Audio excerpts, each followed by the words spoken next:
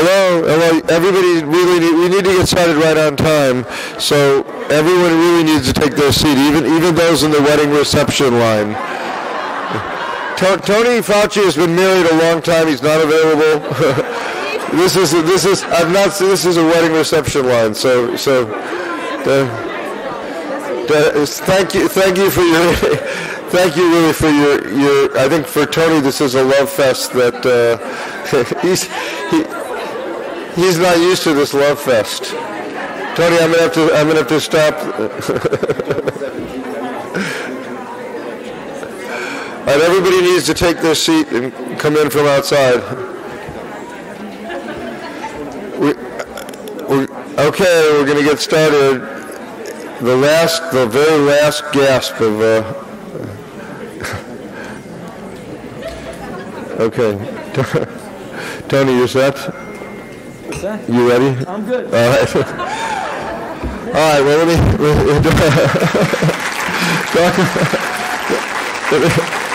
I, I, I've got to say. I got to say, on behalf of Rob and I, we're, we're great. We're, we're, thrilled that Tony's here. You know, it's one of the highlights of the meeting every year. As you all know, Dr. Fauci has, has been the director of the National Institute of Allergy and Infectious Disease for probably more than four decades now. I hate to say that, but it's it's about four decades because um, we met that long ago.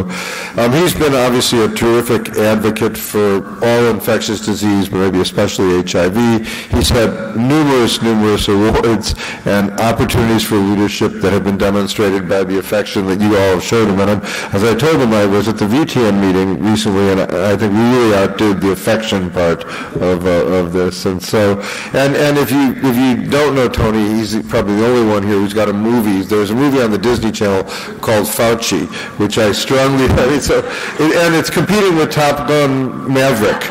So. So, so it's not clear to me. It's not clear to me about you and Ted. Do you know Tom Cruise, Tony? All right. so anyway, we're, we're, really thrilled to have, have, Dr. Fauci here. He's a friend and a terrific advocate for everything we're doing, and, and he'll give us um, his I'm going to say something. Um, and, and before I stop talking, stop talking, my friend Dr. Dief- my friend Dr. Dieffenbach is going. You're going to say something right now. Okay. Dr. Dieffenbach has his own speech. So I, little did I know. The whole point of this is is that it's unscripted, except you know what it's about. So, from the perspective of NIAID we could not have done what we needed to do and accomplish what we needed to do against coronavirus disease without the HIV networks. All of you in this room made contributions. We appreciate everything that was done by uh, the PTN and as part of the CoVPN.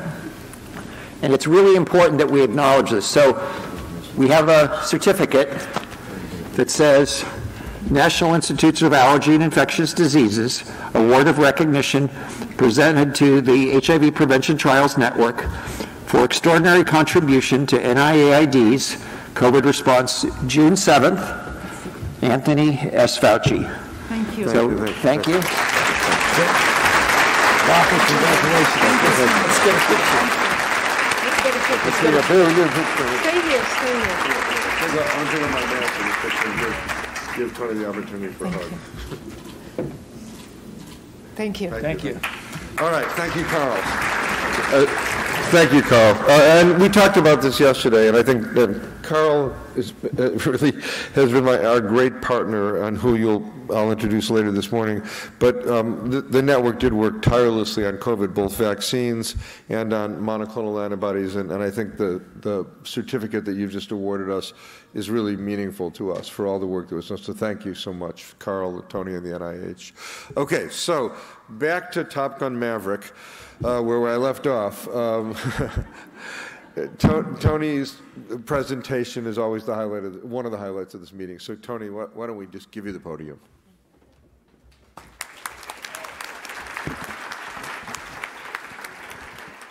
thank you very much, uh, uh, Mike, and, th and, thank you, Wafaa, and thank all of you. Um, I appreciate all of the the obvious attention you're giving to me, but uh, uh, please know that I realize that I'm just a representative of everything that everybody in this room does. And really, when we started the uh, networks decades ago, uh, it was for the intention of getting to where we are now. And the networks and what you've accomplished have really surpassed anything that we would have imagined. So the success is all yours. We appreciate it, but it's, it's got to keep going. This is not the end of the line. I, I just could not help but, but realize you know you're really getting old because in the very first years of HIV in the early 80s, when we were just starting to be recognized, people would come up to me and say, you know, my brother or my wife or my husband wanted to say hello. Now everybody comes up and says, my mother and my grandmother wants to say hello. I appreciate your mothers and your grandmothers, but it's, you know, it's, uh, it's a little tough. okay, so for those of you not familiar with what we've done historically over the years with these introduction is that I'm going to give you really an update uh, of the progress and priorities of the Institute and not at all limited to just our own important but somewhat narrowed interest of the HPTN. So that the reason I think it's important because you're all part of a much broader process, just the same way as NIAID as an institute that I direct is part of a broader process of uh, addressing these challenges that we have in science, medicine, and public health.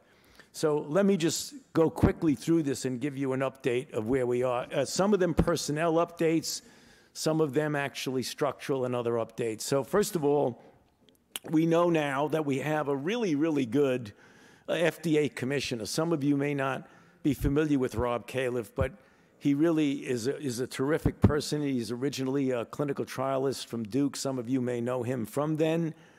Also, in the personnel issue, you know that Jeff Zients, who was an extraordinary leader of the COVID task force at the White House and the person that I reported to directly in my role as the advisor to President Biden, has now been replaced by Ashish Jha, who some of you know, who is the dean of Brown School of Public Health. He is now the coordinator.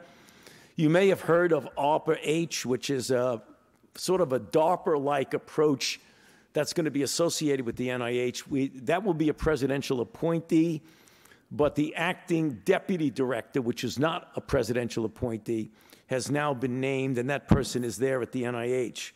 A little bit closer to home to what we do, John Mascola, who is the director of the Vaccine Research Center at the NIAID, an extraordinary individual who many of you knew for his extraordinary work on HIV, but also on other diseases such as malaria and influenza, and now most recently COVID, has left. And the acting director is another person that many of you know is Rick Koup, who is uh, really one of the top immunologists in the country today, has taken over as the acting director. On a more global front, uh, Tedros, uh, who is an old friend from way back from the time when he was the health minister of Ethiopia, who some of you on the international level probably know, has been reelected for a second term as the WHO Director General. And that's really very good news. Uh, you know, it, it, really is because Tedros, who's really a terrific person, has,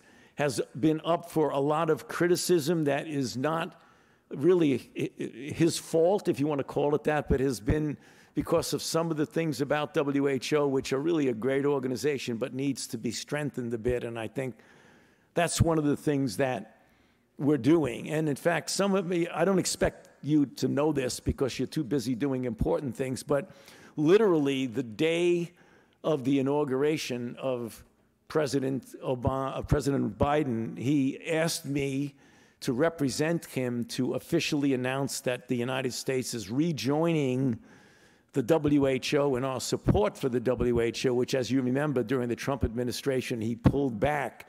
So, one of the most important and happy things I did was on the first day of the Biden administration, I addressed the World Health Assembly and made the official announcement that the United States is back in WHO, which I think is a very important thing. Okay, so I don't want to trouble you with budget, but I am going to trouble you with budget. Um, so the budget situation is really very complicated for the federal government, particularly now in so much money that has been invested appropriately with COVID has put a lot of strain and actually tension uh, between the Republicans and the Democrats about how much money should be given. So we'll take a look at the NIH budget for fiscal 2022, the fiscal year that we are in now that will end on September the 30th, and fiscal 2023 will start on October the 1st of 2022. So the budget increase was pretty good. At the NIH, it was 7.5%. For NIAID, it was 4.2%. Now, I want to show you something so you don't get the wrong impression when you read about it for those of you who follow budgetary issues is that the fiscal 2023 president's budget was released on March 28th, just a few months ago of this past year. And when you look at face value of the budget, uh, it looks like a minus number for NIAID, although it's a big increase for NIH to the tune of about 9.3 with the total program preparedness, which is the 12 billion dollar that is for pandemic preparedness, a lot of which will go to NIAID for non HIV, but for COVID. But the minus 0.1 that you see in the yellow highlight is not a real number because when they do a budget, the president comes in with a budget based on what the original president's budget was, which was lower than what the real budget was, what the Congress gave us. So that when the next president budget comes, it's based on this. So if it gives you a certain amount, it looks like a decrease when it's actually an increase because the base is different. So when you see this minus 0.1, that's a spurious number. It very likely is going to be higher than that. So I just wanted to make sure we don't get confused about that. Some legislative updates. You know, we've been to a lot of uh, hearings, uh, some of which are appropriations, some of which are oversight. Appropriation hearings are generally friendly. They want to give money to the NIH. There are obviously the, the, the Republican side of it uses it as an attack on me, but that's become, you know, sort of commonplace, so we don't even worry about that. But the legislative activities was on May uh, 11th. We pre- uh, defended the president's budget about the, uh, about the appropriation subcommittee hearing, and that's me together with my colleagues, uh, Acting Director Larry Tabak, um, who is representing the NIH, and I'm there with some of the other institute directors. A few days later, we did the Senate Appropriations Subcommittee hearing. Again, one of the things I want to point out to you, and this is the thing that I think if there's any message that you take away from my discussion from you today, is that COVID has essentially wiped the, the, the attention to, but not the interest and effort of everything else off the table because it's transformed all of our lives. We all know that. I mean, that's why we're all sitting here wearing masks and essentially upending our lives. But you really need to know that uh, HIV AIDS has not been forgotten. It's not off the table. And as far as I'm concerned, I bring it up at every possible opportunity that I can. And as things start to essentially, you want to say the new normal, whatever the heck the new normal is going to be, that HIV is going to be a very important part of that. So, all of our, our goals of ending HIV and the 10 year program, all the things that we're doing with HPTN are going to continue, and I can guarantee you that I will continue to make that the highest priority. Uh, so you should also pay attention. It's going to be, I don't know, how, it's, it's going to be fun for you to watch, but not fun for me. There's a, a, congressional hearing that's going to take place next week on the usual stuff that you're going to read about in the newspaper. So just as they say, say a prayer for me, right? okay. All right. COVID 19 update. Let's take a really quick look at this because this is important. I know it's not HIV but it indirectly impacts HIV. So, where are we now globally? Again, historically, I remember when, uh, in the very beginning of the uh, outbreak, um, I had mentioned uh, in a press briefing uh, that this could turn into a really serious global pandemic, the likes of which we haven't seen in 104 years. And the Trump administration, particularly Mark Meadows, got very, very angry at me for saying that. And I said, you know, we could possibly get to the point of, of a couple of hundred thousand deaths. And, and that put me in the doghouse in the Trump administration for a while. And now take a look at the numbers with globally a half a billion cases, more than 6 million deaths, and the calculation by modeling, it's very likely closer to 15 million deaths. The cases in the United States, again, officially 85 million, very likely more than that. Uh, also, the deaths now, that horrible uh, landmark of 1 million deaths uh, and counting. We've gone through several waves. If you look at the relative size of the cases of the waves, you see, remember, all of you know, because we've all lived through it together, that at the peak of the wave in the winter, the Omicron wave that started in November, we were averaging between 800,000 and 900,000 cases and about 3,000 cases of deaths per day. Now we're at the point of about 100,000 cases, and when you look at the deaths, despite the fact that we're having 100,000 cases, the deaths are averaging around 300, anywhere from 275 to 300. So the bottom line interesting phenomenon that's going on is that we're getting many, many more cases because unfortunately we have to realize that the vaccines are quite good at preventing people from getting severe disease and death, but not good at all in preventing infection. And we all know that. Every one of us now wasn't this way a year ago, know someone, perhaps ourselves, who've been infected even though we've been vaccinated and perhaps doubly boosted. And that's something that we really have a challenge, and maybe some of the lessons that we've learned from the science of HIV will help us to get vaccines that are not only more durable, but that also prevent infection and transmission. Because otherwise, the vulnerable will continue to suffer because those who don't make a good immune response are, are not going to be able to do as well as others. Moving on quickly, remember the arguments that I had with the far right when they were saying, don't worry about children. They don't get infected. When they do, they don't spread. And when they spread, no one gets sick. Wrong, wrong, wrong. Children do get infected. They do get hospitalized. And they do die. There are many, many more deaths among children from COVID than there are from influenza, despite the protestations of those who said that's not the case. It's another example of when the facts and the data come out, all the other nonsense and distortions and and all the other things just go right down the drain, and you just have to wait and see when the truth comes out. Okay, where are we with the different variants? It's really important. This is a most unusual virus for those of us who have been fascinated with studying HIV, uh, which is one of the most extraordinary viruses that I think anyone has ever dealt with. It has a partner here with COVID, which is equally fascinating, namely the evolution of variants starting from alpha, beta, gamma, delta, and now Omicron. But Omicron is also continuing to fool us because when you look at the family tree of Omicron, it's way, way out. And the difference between Omicron and Delta was extraordinary. In fact, the transmissibility was multifold different. However, what we're seeing now with the circle is sublineages of Omicron that are progressing, driven very likely by mutational changes through immunological pressure, to the fact that we've gone from BA1 to BA2 to BA2.21.21 to BA4.5. And it's a most extraordinary. I mean, for those of us, and I know many in the room feel that way, are fascinated by viruses. Take a look at the time course of variant distribution globally, how Delta came and pushed everything off the map.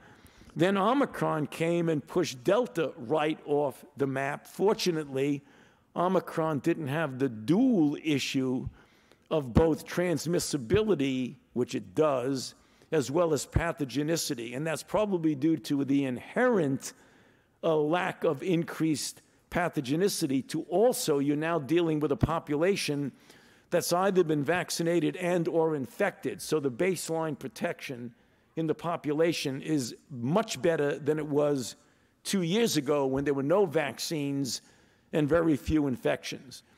Now, if you look at the United States and Omicron, you could see it came way down, and now that little blip on the far right is where we are now with cases going up. And notice it's just beginning to plateau.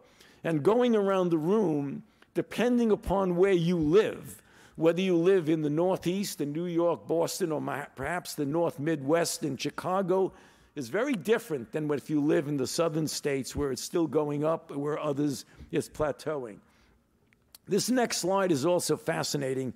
I really wanted to show it to you. Again, even though it is an HIV, it's the evolution of variants and how they push other variants off the map. So the orange is the original BA 1.1. That's what we originally referred to as Omicron.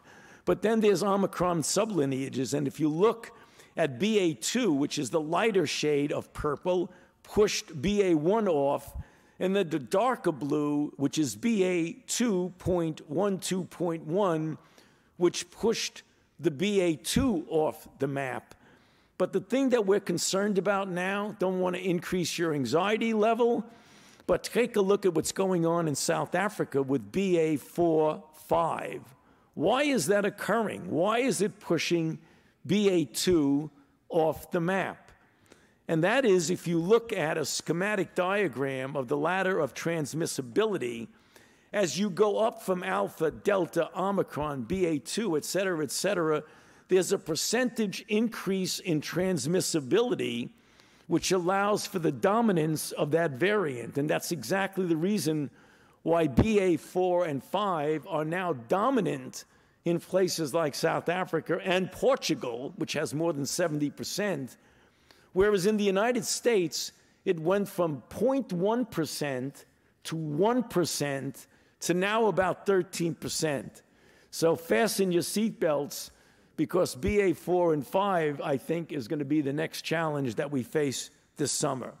So, what do we do about these increase in cases quickly? Why is it happening?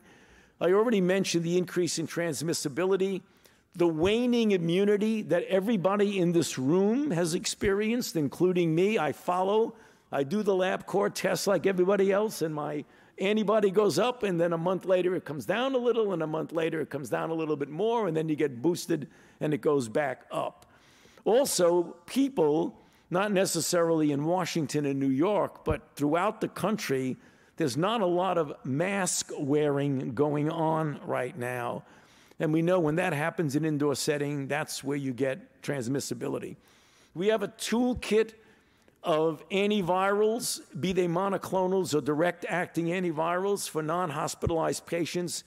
The one that is very popular now, appropriately so, is Paxlovid, which is a direct acting protease inhibitor given for five days for people within the first three to five days of uh, infection, about a 90% diminution in hospitalization risk. However, there's a new phenomenon going on. I'm sure you're all aware of it. You take Paxlovid, you immediately, within a day or so, become asymptomatic and negative. You finish your five days, and a lot of people get rebound in symptoms and test positivity, but they don't get seriously ill. So that's not a reason not to take Paxlovid because it still is very effective in keeping you out of the hospital. In that regard, the Biden administration has launched something called Test to Treat.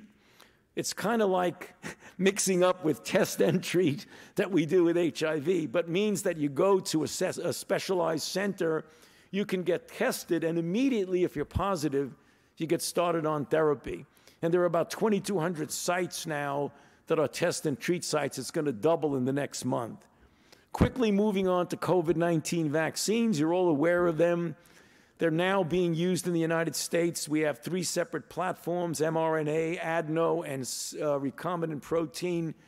We have the Moderna and the Pfizer, J&J to a lesser extent, but we're now hearing more about others such as Novavax, which is a soluble protein.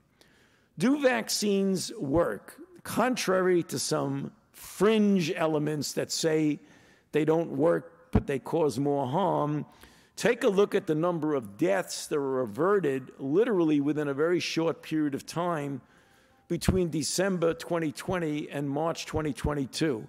Over 2 million deaths, 17 million hospitalizations, 66 million infections, and about close to a trillion dollars in healthcare costs that was saved. That's the good news.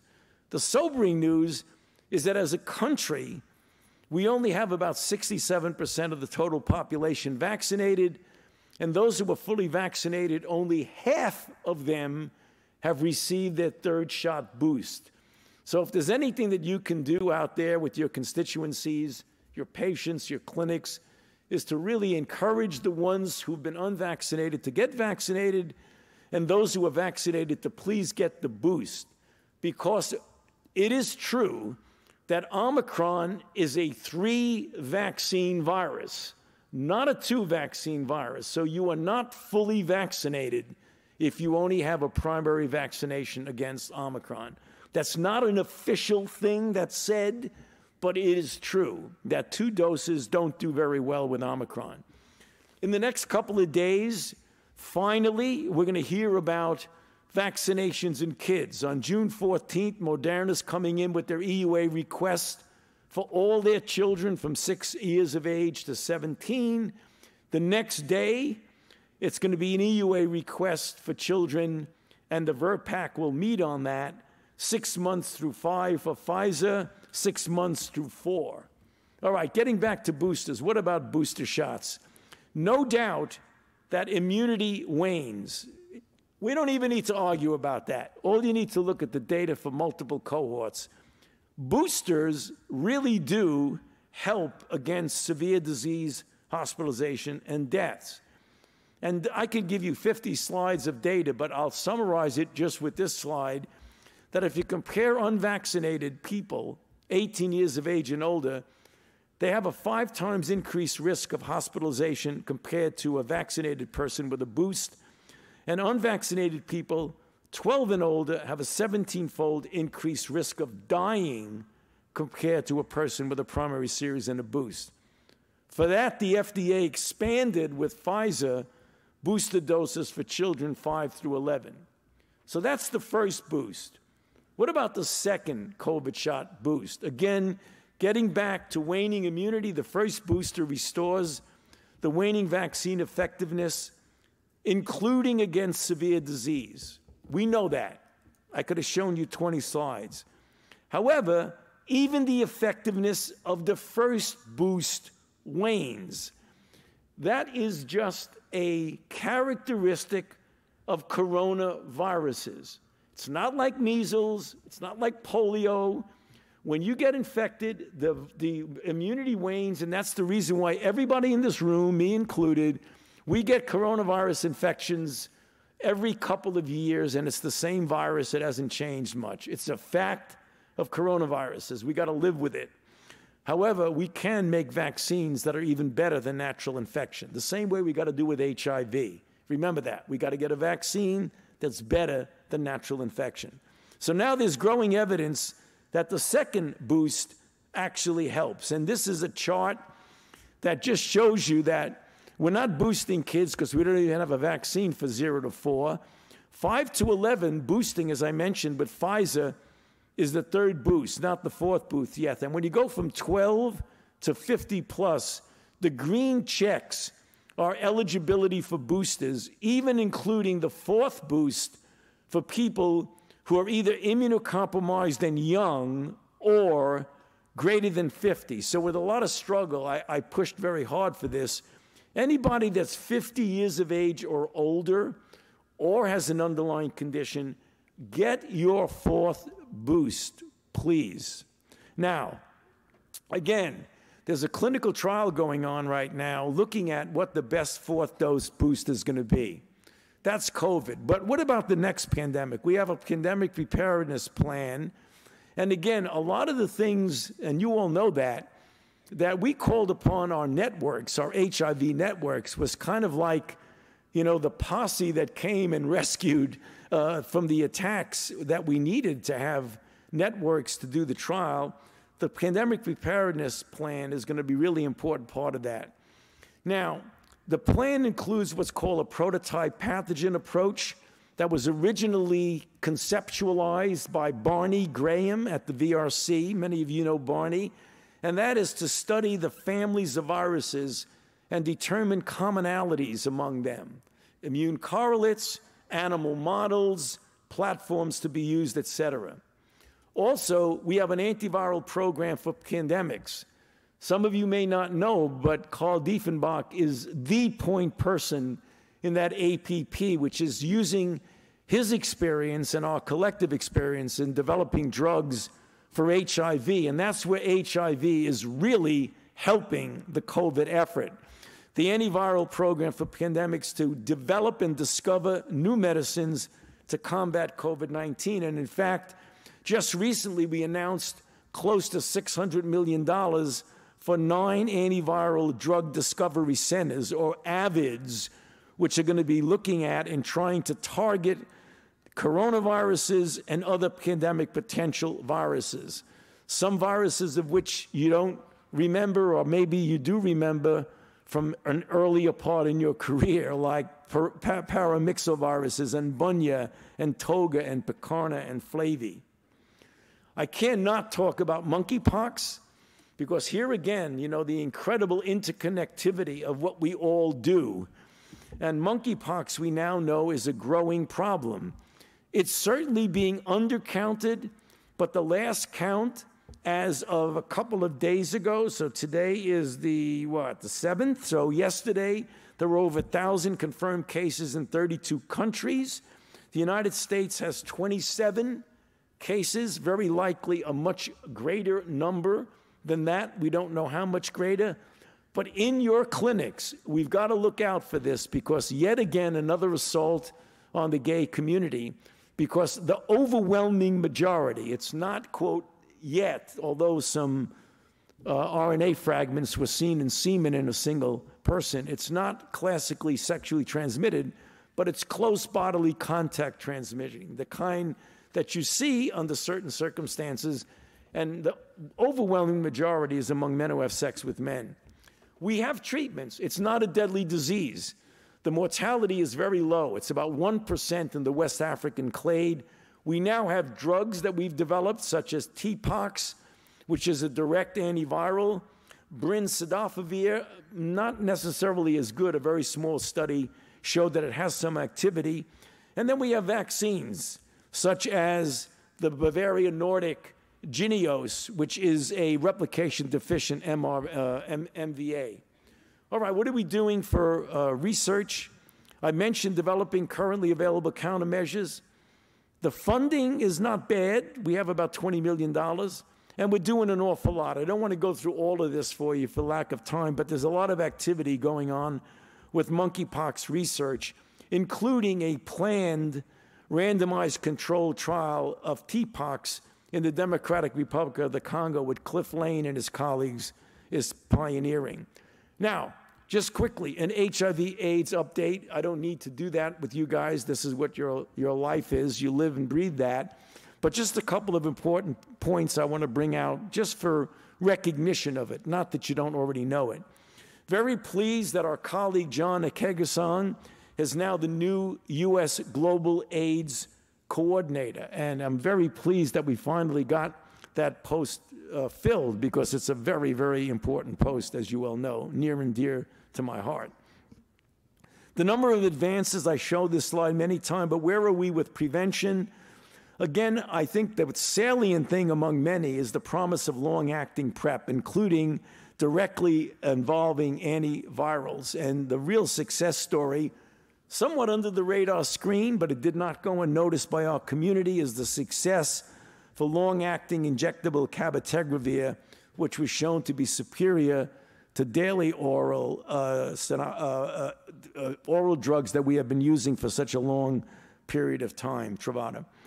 Now, what about broadly neutralizing antibodies? And again, here's where the work with HIV has helped us in our work with COVID, but is really very important. The very important uh, uh, showing that FDA approved the first injectable treatment for HIV pre exposure prophylaxis, the daily pill of cabotegravir. With neutralizing antibodies, again, the rather substantial marriage between the two disciplines, where there were two randomized trials of neutralizing antibodies, the famous AMP study. People who don't understand the study think that AMP wasn't a necessarily a success story. it was a real success story because it provided the proof of concept that broadly neutralizing antibody prophylaxis can be effective if you have a virus that's sensitive to the antibody, which you all are aware more than anybody else. And congratulations to this group for being involved in this. That if we get combinations of antibodies, we very likely can come a long way both for prevention as well as for treatment. And getting to treatment, long acting antiretrovirals are again an important success story that might replace daily pills. Broadly neutralizing antibodies, just going to say a word about that. I'm not going to talk about eradication, we don't have enough time. But there have been a number of studies. Michel Nussenzweig has led some of those showing about prolonged viral suppression with anti HIV antibody therapy, particularly when you have long acting antibodies. In our own lab, we are also pursuing that. Uh, At Tae-Wook Chun and our colleagues, in which there's a combination of antibodies that provide virological suppression. And as I mentioned, eradication, you all know that. Vaccine development very quickly. It has been a challenge. We all know that.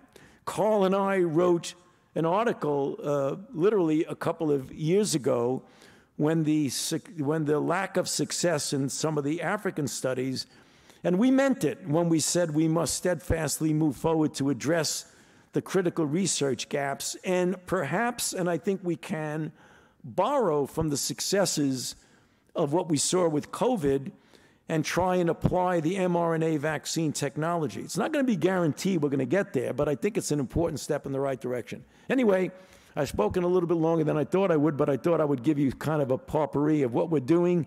We'll close by saying that the scientific advances that people make in the lab have to be implemented, and that's where you all come in, is the implementation of the extraordinary science that's been done. So I'll stop there and hand it back to you, Mike. Let's this year give Tony a standing ovation for all his work.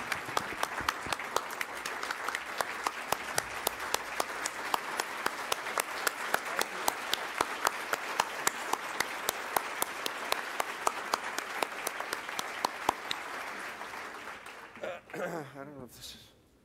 Uh, Tony, I think you're going to stay for a panel, so I think uh, in the interest of time, we'll, we'll let introduce the famous Dr. Dieffenbach is anxious to get on stage, so please. Uh, so Carl Dieffenbach, I think, is known and beloved to this group as uh, the, the director of DAIDS and uh, our leader and partner for now a very long time. Um, his team is here as well. I hope uh, they all have a chance to meet our group. Karl is going to moderate a, a, a, a, session with Tony and others. Uh, so Carl, take over. Thank you, Mike. I just want to reflect on one point that Dr. Fauci um, commented on, and that was the success of 083 and 084. I think we should applaud you for accomplishing those studies, as well as AMP during the pandemic. So um, we're going to move to a session on uh, HIV prevention uh, research priorities, uh, primarily focusing on global AIDS. Uh, we do have um, a local talent with us today, uh, Clover Barnes, who's going to represent. And so if Clover would come up and sit down. So what I have is short biographies that I'm going to read about our, our different speakers, and then we're going to uh, go with some questions and try to wrap this up like 10 after 10? Mike Wafaa, do you think? Yeah. Okay. So um, even though Dr. Fauci has just spoken, I'm going to, the, Dr. Fauci is the director of NIAID uh, at the NIH, and he oversees a very extensive research portfolio of infectious and immune-mediated diseases. He's been the long-term chief of the Laboratory of Immunoregulation and has made several co seminal contributions in basic and clinical research and is one of the most cited biomedical scientists. He's here for a variety of reasons today, uh, not just for COVID, but also he was one of the principal architects of PEPFAR, a plan that has saved millions of lives around the globe.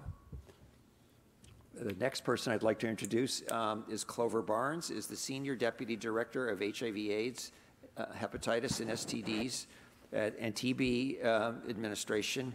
at HAHSTA at, uh, for the Department of Health in Washington, D.C. She is a nurse executive with more than 20 years of combined experience in healthcare and public health. Ms. Barnes has served in many healthcare uh, administration nursing positions, including staff charge nurse, clinic coordinator, nursing manager, ambulatory manager, and chief operating officer. Uh, it's a pleasure to have her be part of our meeting. And Clover, um, on a personal note, is a major part of our efforts in Washington, D.C. to help us end the HIV epidemic in the city. Uh, next, I'd like to introduce um, Ambassador uh, Nkengasong. Uh, John is the coordinator uh, for, for uh, PEPFAR and the special representative of global health diplomacy. Um, uh, Dr. Nkengasong uh, was previously director of the African Centers of Disease Control and Prevention, a specialized technical institution of the African Union.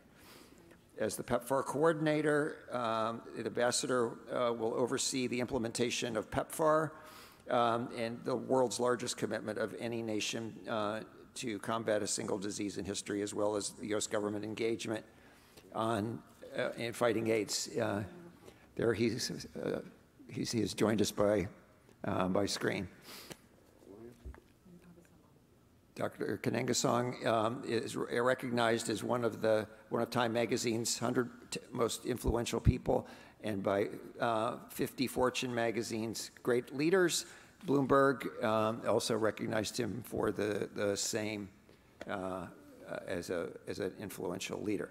Uh, uh, Meg Doherty is uh, joining us from WHO. Hi, Meg um, uh, um, and is the director of the Department of Global HIV, Hepatitis, and Sexually Transmitted Infection Programs, also known as HHS, but not RHHS, uh, at the World Health Organization in Geneva. Appointed on February 1st, 2020, uh, Dr. Doherty um, was previously the coordinator of treatment and care at WHO uh, headquarters since 2012. She has more than 25 years' experience in working in HIV and infectious diseases including WHO's normative programmatic um, work focusing on expanding HIV treatment in all uh, and reducing um, inequities um, in access. What I'd like to do now is ask a broad question and ask each of the panelists, starting with the ones in the room and then moving uh, to John and Meg, uh, to, to say a few words um, about um,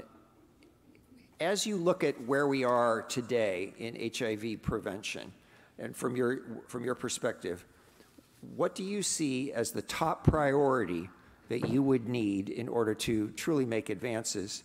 And at the same time, what do you see as the single greatest challenge we, see, we are facing to end um, the pandemic? I'll start with Dr. Fauci and then go to Clover. Well,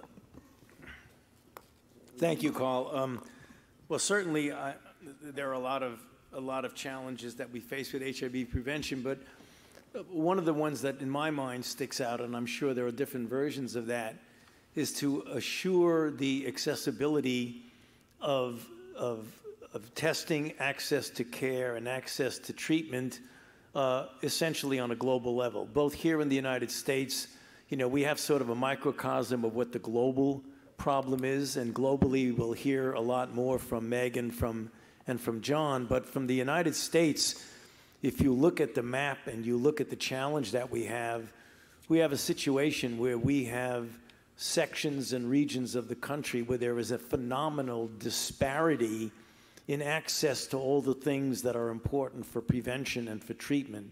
One is access to testing, the other is the prevailing stigma in certain regions. In fact, throughout the country, but very intensively in certain regions where men who have sex with men, injection drug users, and others, A, don't have the access to, and particularly among minority populations in the southern states, where if you happen to be somebody in the middle of a city with access to testing, to care, to treatment, that's a very different situation. So, one of the big challenges that I see in the United States, and like I mentioned, I'll lead the global one to others who are more involved on the global level, is the lack of equity that we have. And that's been something that I believe we really need to overcome if we're going to make any headway into meeting the goal of ending this epidemic in the prescribed time, 10 years from 2020. It's 2022, and you know, we have to get down to 75% decrease by halfway through, and we're really haven't budged. Don't get fooled by the numbers of a decrease in cases by 17%. That's almost certainly a lack of access to testing as opposed to an improvement in prevention and treatment. So I'll stop there and back to you. Okay. Thank you. So I'm going to agree with Dr. Fauci on the equity issue. I think injectable PrEP is going to be a game changer for us. However, getting it to the populations who need it most is going to be the biggest challenge. Who's going to pay for it? How are they going to get to the labs? Uh, there's a lot of mistrust and stigma in the community amongst people who need these interventions the most. And then how do we break that down? How do we get them into the places? I think the things that we've done have worked to a certain extent, but they've plateaued. And the people who want to get into service and can easily access services are, but the people who we really need to get to who aren't accessing services for whatever reason, you know, aren't coming through the methods that we have. Thank you. Um, let's go to um, Ambassador. Thank you, Th- thank you, Carl. And uh, can you hear me? Yes, we can hear you just check perfectly. that? Oh, wonderful. So, um, really exciting to be a part of this conversation, and it's very uh, historic that this is my last day at the Africa CDC and the African Union. So tomorrow I catch a flight to Washington, and to have uh, marked this transition with this session is truly historic for me, and I truly appreciate that I was invited to share a few reflections. So let me uh, very uh, upfront hasten to say that whatever I'm going to say doesn't necessarily reflect uh, the direction that um, I will be leading PEPFAR to, but just a distant reflection based on where I sit and watching the pandemic uh, on the continent of Africa. And I have been away from HIV/AIDS for the last uh, close to five and a half, five and a half years. But there are four things in direct response to your uh, question, Carl. One is uh, we really need to stay focused on where the virus is and remember that the enemy is the virus, period. And use data to at least know where this virus is uh, spreading, how it's spreading, and as we try to achieve that goal of 2030, which is to end the, the, the pandemic. To do that, there are at least four things I, I, would like to think we have to begin to reflect on, and it's truly a reflection. And in the coming weeks, I'll truly, after doing a stress test of what the current situation with PEPFAR is, uh, begin to lay out a direction. So first is behavior. I mean, what is our behavior?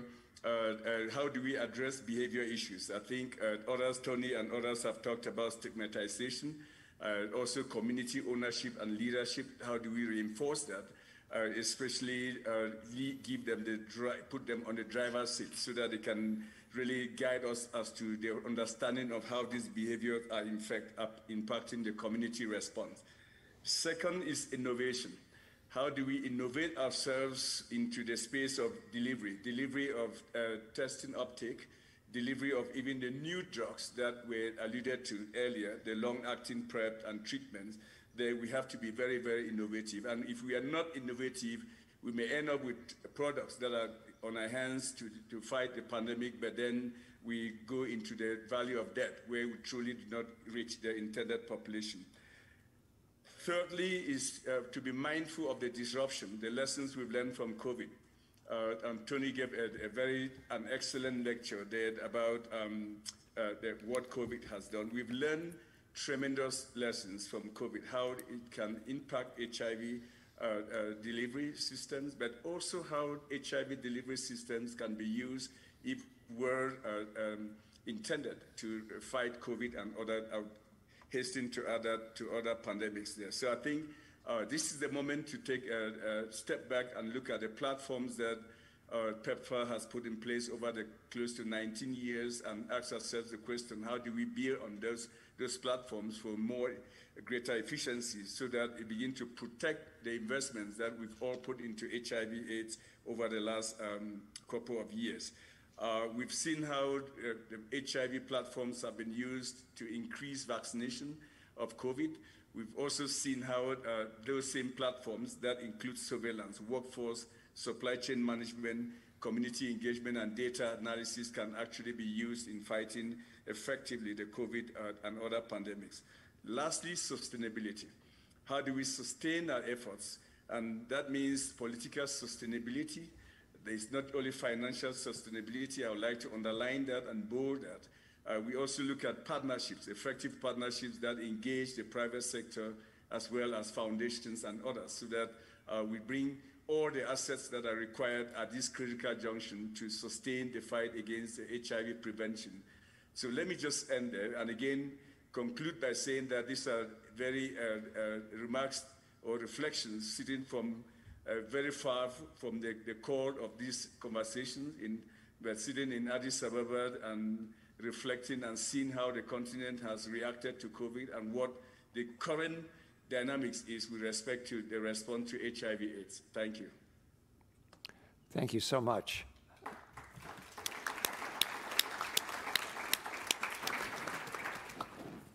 Dr. Doherty. Thank you. Uh, I hope you can hear me. Uh, Yes, we can hear you fine. Okay, very good, very good. I didn't hear you for a moment there. But thank you very much for inviting me. And I think from sitting at the WHO, everything I've heard coming before me resonates very clearly. But we also need to think about what is the public health approach for prevention, for treatment, for access to care.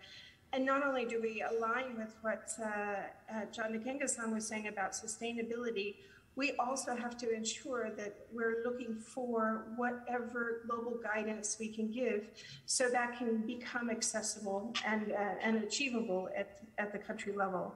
What I would say is we're coming out of the World Health Assembly where we note that there are so many other agendas, health agendas, and keeping HIV, STIs, hepatitis, now monkeypox on the agenda has been difficult. And I, so I think what we also need to be thinking about as we move forward for the priority is how do we maintain that relevance and maintain the high level of science. Currently, we know that we're almost having eight countries reaching those 90, 90, 90 targets, one at 95, 95, 95. But I think the devil is in the details, as we heard before. There are pockets of poverty, we might say. There are, we know that HIV is being transmitted now primarily through key populations. So the services that need to be delivered have to reach the people most in need. We're very excited about the long-acting cabotegravir, but we're also excited that R&D continues and that those research priorities are maintained. We think having the same regimen for treatment, for prevention, uh, and for PEP, for example, could cause, cause us some problems down the road. We've just transitioned 26 million people from uh, an NNRTI-based regimen to dolutegravir. And we may want to use again at, at large scale another integrase inhibitor. We have to watch for, for drug resistance and perhaps put on high on our priority some of the smaller molecules like the lenacapavir and maybe revive, we hope, the islatravir. When we think about key populations and stigma, I think those are going to be incredibly important that we keep on the agenda. Also, men. Oftentimes we think mostly about young women, but what are we doing about keeping our men in that cycle of care? For the longer term, WHO and others are really very excited about the mRNA vaccines, what we have learned from COVID to see how we can have actually a, a neutralizing uh, antibody response, we hope, in the future. And we know that the cure continues to push forward. But anytime any of those new innovations come to the table, we have to think about what the access price would be, how we can share that with countries.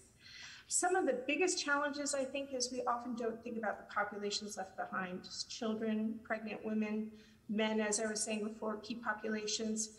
The stigma and discrimination are part of that. But I think it also is about HPTN doing research around pregnant women, making sure that the, the drugs that are coming online can be used at any time for women and prioritizing perhaps the low hanging fruit for attaining our SDG goals. If we think we have eight years to get to the ending AIDS as a public health problem by 2030, I think the one um, area where we can really make great strides is ending AIDS in children. And so if we're thinking about the drugs, the BNABs, the approaches for postnatal prophylaxis for children, I think this is something we should strive to finish and to show that we've been able to manage to end part of the HIV infection in a certain population. Um, but with that, I, I, agree with all of the other issues that have been brought up. And, and it's really not so much about the what so much, but how to deliver, how to li- deliver these innovations at a cost that is accessible to those who are probably most in need, like the key populations and those who are most vulnerable. So thank you very much. So one of the themes that all of our four panelists uh, hit on was this issue of stigma, dealing with um, key populations, and how to approach and alter the behavior and improve access through enhanced behavior for reducing stigma. One of the tools that we think about for reducing stigma um, is the notion of status te uh, neutral testing. I would like each of you to address this idea of status neutral testing and how you see this as a positive and also what you see as the structural barriers for implementing status neutral testing as we move forward because this is a challenge um, domestically as well as potentially internationally. So we'll do the same order again. Okay, thank you very much, uh, Carl. Obviously, a very important question, and I think that the whole issue of status neutral testing and status neutral care in clinic is, is an absolutely essential component of increasing the efficiency of our engagement with the community, but also a very important tool in eliminating stigma. Because if you just drop back a few yards and think about it, to have a situation where you have resources that has a clinic for those who are testing to see if they're positive versus those who are positive to see if in fact they need to get therapy or get their drug renewed, it just doesn't make any sense because right away you are almost inadvertently creating a two class stigmatized system by doing that, not to mention the economy of scale to having a clinic, which is a one stop shop where you go in, and if you are uh, someone who's at risk but has not yet been infected, you get put on the appropriate regimen for pre exposure prophylaxis, whatever that is, be that Truvada or injectable or monoclonal antibody. And if you are living with HIV, you make sure that you get on medication and that you stay on medication. It just doesn't make any sense in my mind to have a continuation of a system that worked originally, because we were in the very early parts of trying to understand this, to right now essentially combining them and saying that it is all one situation and all one process of the healthcare delivery system. So again, it's important for economy of scale, but it's also important to eliminate stigma for sure. So easy said. Thank you. Clover, as a frontline, literally on the ground, what do you see as the structural barriers to uh, as we go forward with status neutral testing? So we've implemented several status neutral, programs um, to do just what Dr. Fauci was talking about, to eliminate those barriers and that stigma. You go through this door, you're positive. You go through this door, you're negative, and people not wanting to deal with either of the doors. The real issue for us, though, is in the implementation with the funding. So we get lots and lots of money from Ryan White, which sets up great infrastructure and great programs. But at the same time, we don't get that same level of funding on the prevention side, and none of those funds can be used for folks who are HIV mm-hmm. negative. And so you set up really great programs where people are welcome and they're happy to go and visit, but they can only go if they're in this situation. And so if you put the same intense resources around the prevention, you could perhaps stop the seroconversion of folks sooner and keep them from becoming HIV positive. We've done some work in blending funding, local funding, other uh, CDC funding, with our Ryan White funding to try to create a more comprehensive program. But the reporting is a nightmare, and there's really severe scrutiny from the funders when they come to visit about which patient was paid with which funding and how did you separate it, which is also a burden on our providers who are trying to do this good work and help the people who need the most help in the best way that they can. So we need to do some work around how we fund these programs and how those structures are set up so that those of us that are closest to the ground can implement the programs in the best way to get the best and safest care to the people who need it most.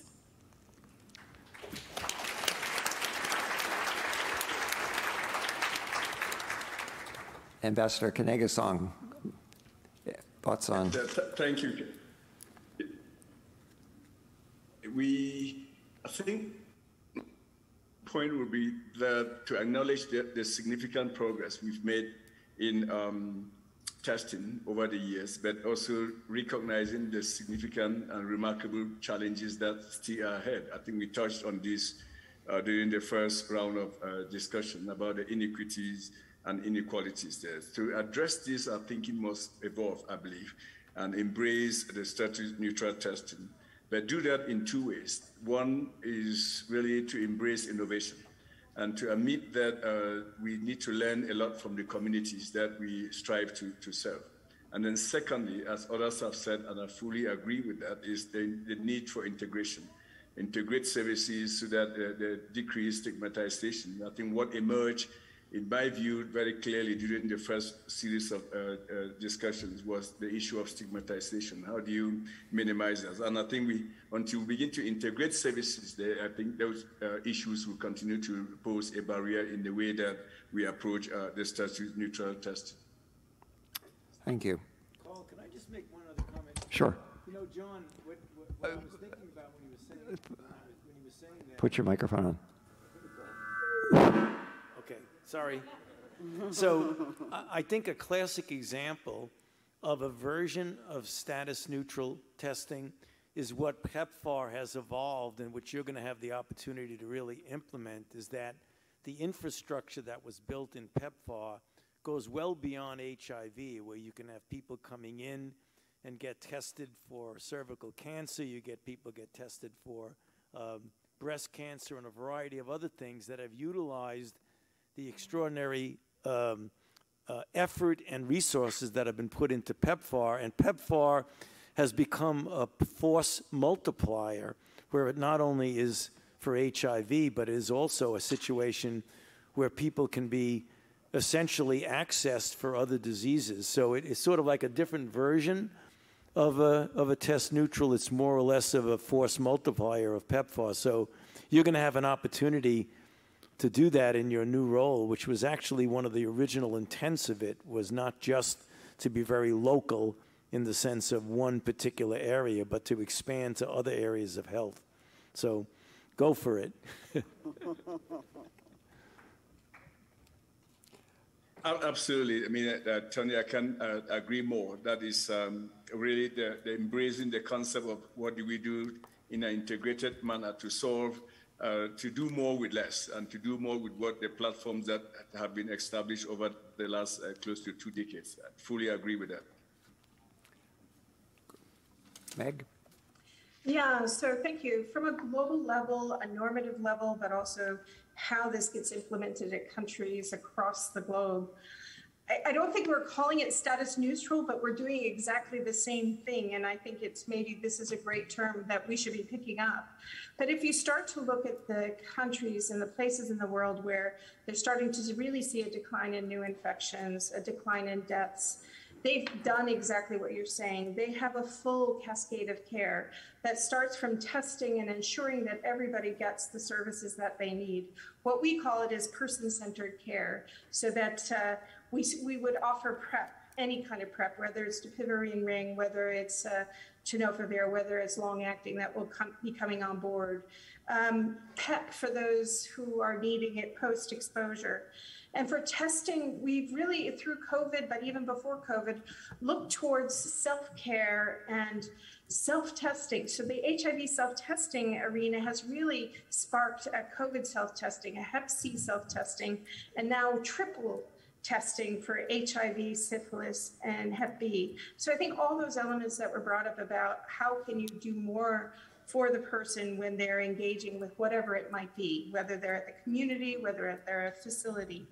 The other area of work that we think is really important is, in, and this is about that, that uh, status neutral um, approach, is really re-engaging people when they fall out of the cascade because people will be on treatment for a period of time and then take a break and need to be engaged back into care in a, in a positive way and look for opportunities to maintain that healthy life on treatment or on PrEP or on event driven PrEP, whatever it may be. And I agree with the comorbidities, and we've already seen at WHO that we're integrating NCDs into our into our work, mental health, and really looking at what are those sort of barriers. If it's a, about men not getting into care, if it's about key populations, it may not just be about getting um, uh, diabetes testing, it really may be about uh, addressing addiction or addressing um, the places where they get their care. And so that's been part of this, the, the documents that we've been putting out. And lastly, I would like to say when you're looking at structural barriers and you're looking at bottlenecks and you want to be able to deliver well, you have to have good information. And PEPFAR has been great at that, of having person centered data. And as we go forward, I hope that data like that can be used to improve the quality, reduce stigma, and really help healthcare workers embrace the non-stigmatizing approaching to re-engaging people into care. So those are a few points, but there's a lot of work to be done, and we look forward to looking, working with the other implementers on this. Thank you. So now we're going to take some questions from the audience, but I'd like to do it one lightning round as people are lining up the microphones. My, my final question from at least here is that as we HIV is constantly forcing evolution, as we've seen also with COVID. We need to continue to evolve and adapt and change. What are the new or different strategic partnerships you see that we need to create to really help us tackle the global pandemic? We'll just go around with a quick answer from the four people again.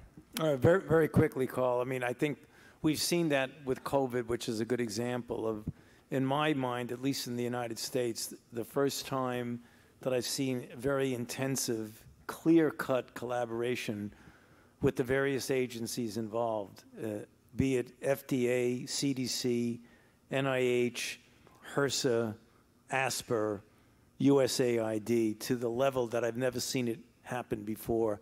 If we can continue that and let that be something that spills over into our approach with HIV, I think we will be much, much better off and have a lot of value added.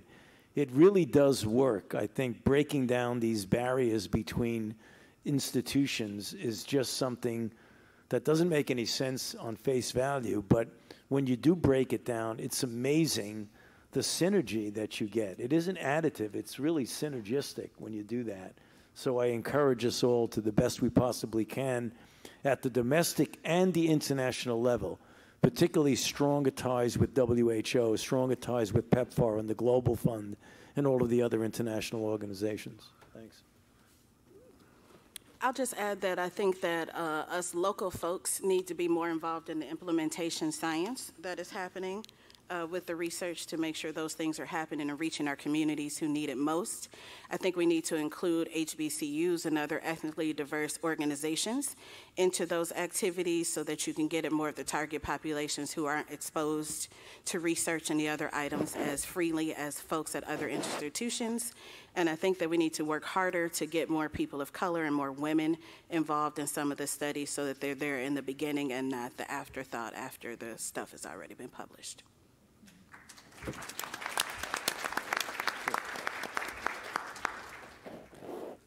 Ambassador? Let me just add that, I mean, first of all, acknowledge that I agree with what the two previous speakers have said, uh, but supplement that by uh, just saying that um, enhancing our coordination uh, across the board, the major uh, uh, partners involved, uh, i.e. Global Fund, PEPFAR, WHO, UNAIDS, is going to be critical in a way that we uh, sustain the efforts and work with uh, countries that uh, we support. I would just hasten to add to that that we should be very deliberate in building the local capacities of the implementing partners. Local capacity of the implementing partners is what is going to sustain uh, the drive at, at, the community level. And lastly, uh, my experience also during the COVID pandemic has been that engagement with the private sector which is not necessarily uh, looking for money from the private sector, but bringing innovation from the private sector to address public health uh, issues, especially uh, the pandemics, is key. Uh, I've learned a lot by working with the private sector in Africa, and we have to mobilize that private sector and bring them to the table. Thank you. Meg? Yeah, I think at the WHO level, and you can look at HIV, you can look at COVID, and now monkeypox. The partnerships have been key because we're only as good as the science out there. And I wanted to take it from, you know, the idea that we need to have some big studies, joint studies, um, rather than one off small studies. They're very good in the beginning, but at this point, when we want to answer the difficult questions, it's good to have collaboration. When we look at innovation or we look about prevention as well, I always think of the upstream and the downstream. And I think WHO now we're getting much better at working on the upstream, the R&D, the pharma, um, what is happening in the basic science, what are the gaps that are going to be able to fill what we don't have guidance or guidelines on now. And then the downstream, I think the collaboration with regulators, with uh, stringent regulatory authorities like FDA and the local regulators are important to bring those innovations in. And we need to have those strong relationships so that things move much more in parallel as opposed in series. And lastly, I agree with everything that uh, John Nkengasong said regarding um, local capacity, civil society organizations, and really ensuring that you're listening to what the needs are rather than bringing something that is just the base, a new science, a new tool, but understanding is that tool the one that's needed to, to actually deliver um, the solution that you're looking for. So we, we love collaborating and we need to collaborate. Thank you. Uh, thank you. So we have about 10 minutes for questions from the audience here. So we're going to start on my right, your left, and then go across the room and back. Uh, Carl Fichtenbaum from Cincinnati. Uh, thanks for organizing the panel. I think what uh, COVID has taught us over the last couple of years is that the world is really a much smaller place and that unfortunately, uh, though many scientists and researchers may want to shy away from politics, politics are paramount to change. If we're going to implement our science and make a difference in the world, we're going to have to speak up to uh, attack the void in which others are speaking up, criticizing many people like Dr. Fauci unnecessarily, and hampering our science. Part of what we suffer from here is we can't get people vaccinated, we can't get people to trust us because we don't have a loud enough voice on the other side empowering people in neighborhoods and in local areas where we bring our science and technology ideas and work in partnership with people, we have to be able to build this and be part of that solution, listening to those communities. That's what our implementation science needs to move in that direction. And we can't shy away from this or we're not going to be successful in any country. Thanks, Carl.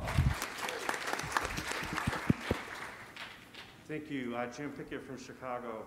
So I wanted to just pick up on the discussion around status neutral. And I, I think that's really exciting, but it still has a frame of HIV. For a lot of people who are negative and on PrEP, they still don't want to be associated with HIV. Mm-hmm. So I'm wondering what the panelists think about framing it more around sexual health and wellness. Mm-hmm and building off a WHO definition of sexual health includes pleasure. And we often don't talk about pleasure, and I'm just wondering if the panelists can speak to how you could incorporate pleasure into your programming for people of whatever status, mm-hmm. and recognizing that um, people with HIV have needs that are well beyond HIV, and uh, sexual health needs go beyond just um, navel to knee, right? It's also about gender affirming hormones, it's about uh, legal support, it's about food and housing. So, but I want to take you back to pleasure and how you might pull in the WHO uh, definition of sexual health and engage people um, to come into for services around the idea of pleasure. Thank you. So, Jim, thank you for that. I think you make a really good point, uh, and I think that is one of the issues with over medicalization And I think this is, will be important to have conversations with, with CDC specifically on this as we, as we move forward. Th- Thanks, Carl. Mitchell Warren from AVAC. And it's mostly a question, I guess, for, for Tony and John. Uh, Tony, as the godfather of PEPFAR and of the clinical trial networks, I'm wondering what you see as kind of the optimal interface between the R&D and the implementation science that NIH drives through this fabulous network and how PEPFAR can pick it up and, and do even better in terms of the, the leveraging and partnership between um, R&D and delivery uh, in the U.S. government uh, programs.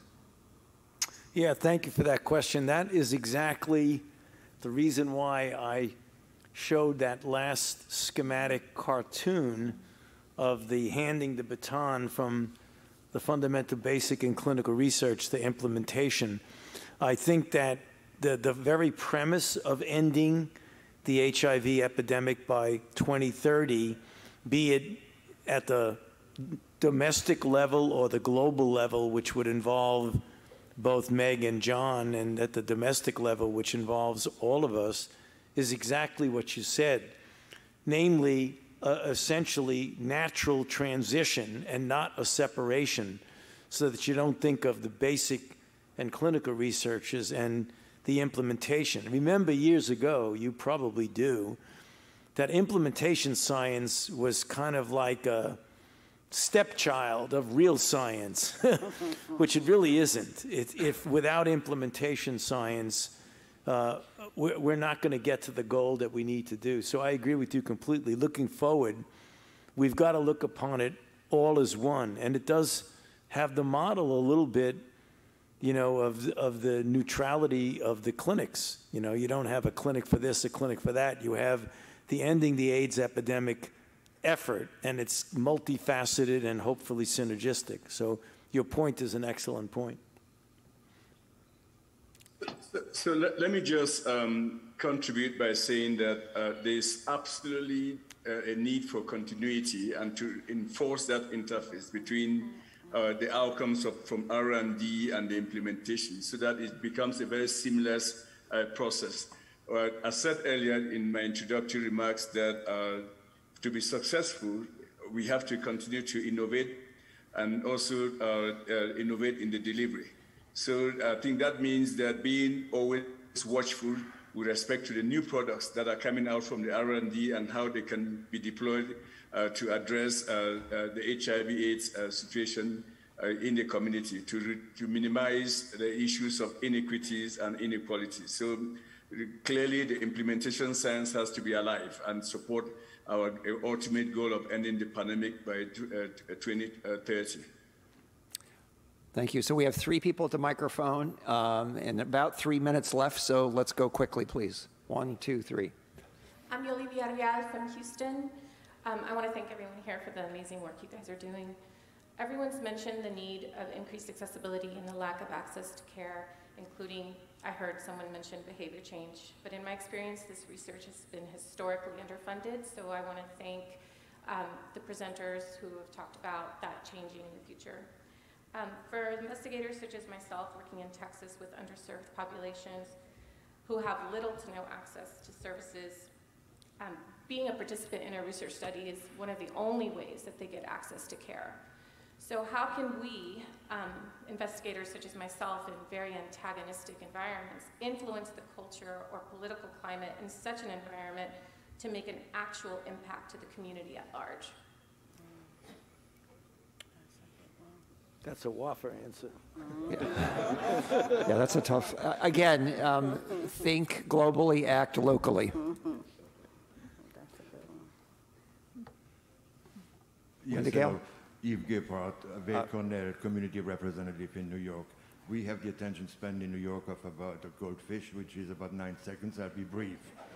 In 2017, I had shared with Dr. Fauci that I had created a hashtag on Twitter, let science educate lawmakers. I like to say that I, I love to see uh, engaged scientists on Twitter. What else could be done to convince lawmakers and politicians. Last question or comment?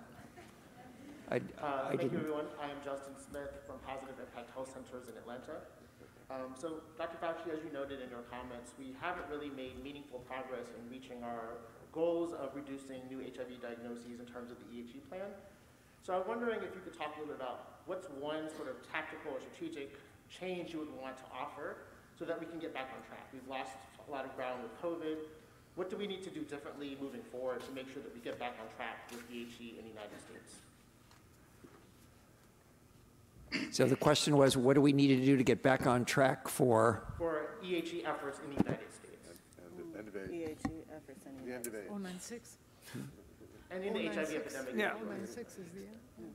Yeah, I mean, what we got to do exactly that. We've got to now reset it. We got to press the reboot button because everybody's gotten so involved in COVID, which is what we should be doing. We're dealing with a historic pandemic, but we've got to get everybody to realize that we are dealing with twin pandemics now. We're not dealing with one pandemic. And just because another pandemic comes along, that doesn't mean the other one automatically disappeared because it didn't.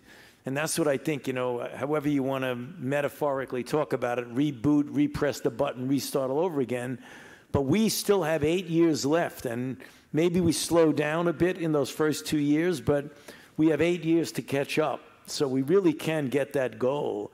And that's the thing that I get very concerned about is that people cannot focus on two things at the same time. We can do that. Uh, we can do that. As infectious diseases people, there's more than one infectious disease.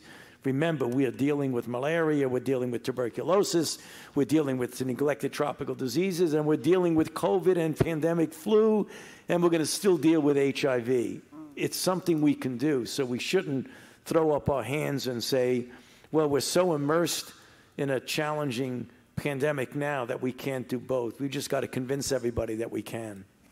Can I just add that we have to build the capacity back as well? So the providers in the community have lost the people who were most uh, well versed in what's happening with the communities. They've lost a lot of their intellectual capital. And until you can build back that capacity in health departments and community based providers, we're, we're not going to get back on track until we can do that. I think this is a perfect way to end the session with a dose of reality and a goal for the future. So thank you all for your attention.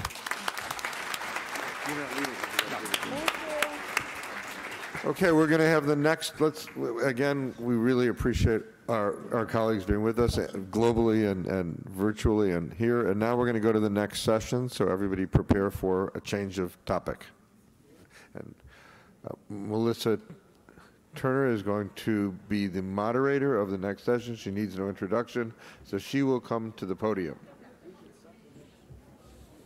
Am I correct? You're taking over? I think so. Okay.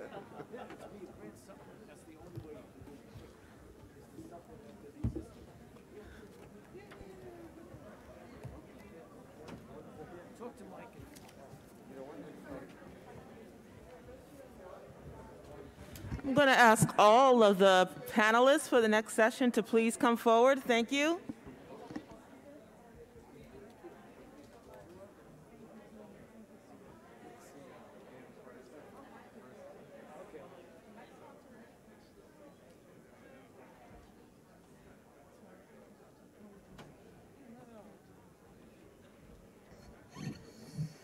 We're going to get started moving forward with the next session.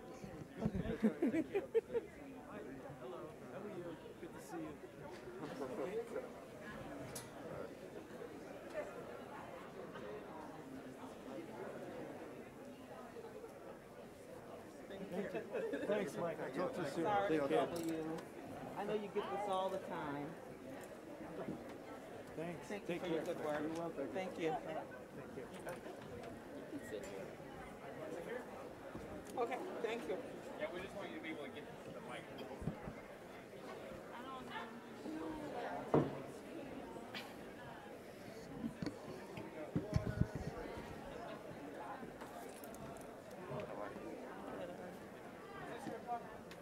No.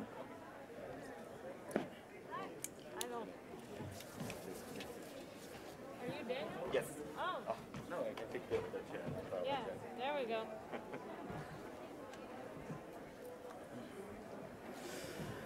I think I'd like to begin. I'd like to begin. Good morning, everyone, and welcome to this session.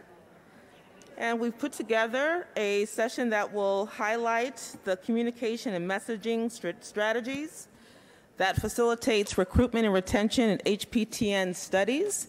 And we're glad to have you with us. We want to highlight the diversity, creativity, and unique approaches that sites utilize to reach participants. We really want to showcase the work of our uh, community educators, people who are in charge of community engagement at the site level, and we're very excited to bring this panel to you this morning.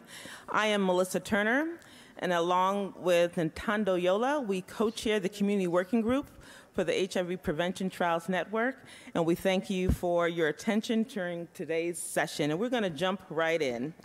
Uh, and again, we're featuring uh, the people who are often the face of our studies on the local level, who are well known to local communities, who are involved with recruitment and retention of our volunteer participants. But we're going to start off with a representative from our Leadership and Operations Center and where we know that that is the center that's responsible for the network's scientific agenda and plays a role in all phases of science generation and protocol development and study implementation and uh, execution of annual meetings such as what we're experiencing this week. So we're going to start off with Jonathan Lucas uh, who's going to give us an overview of communication strategies and messaging. And Jonathan Lucas is a stranger to no one here. He is an associate director for community programs and HPTN point of contact at FHI 360. He is a public health educationalist and leader with community engagement experience that spans multiple decades. Uh, he's an incredibly talented uh, public health uh, expert and uh, quite a gem to the HPTN. Now I'll turn it over to you, Jonathan. Thank you, Melissa, for that. Uh, what's the word I want to use? You're boosting my ego with that introduction. um, first of all, I'd like to acknowledge um, that I'm sitting and representing the communications and the community team at the Leadership and Operations Center, um, and I'm representing their work. They do a lot of good work um, and are really the driving force behind the campaigns that I'll be speaking about. I'd also like to acknowledge the clinical research site community representatives who direct us in the development of these social marketing campaigns and materials.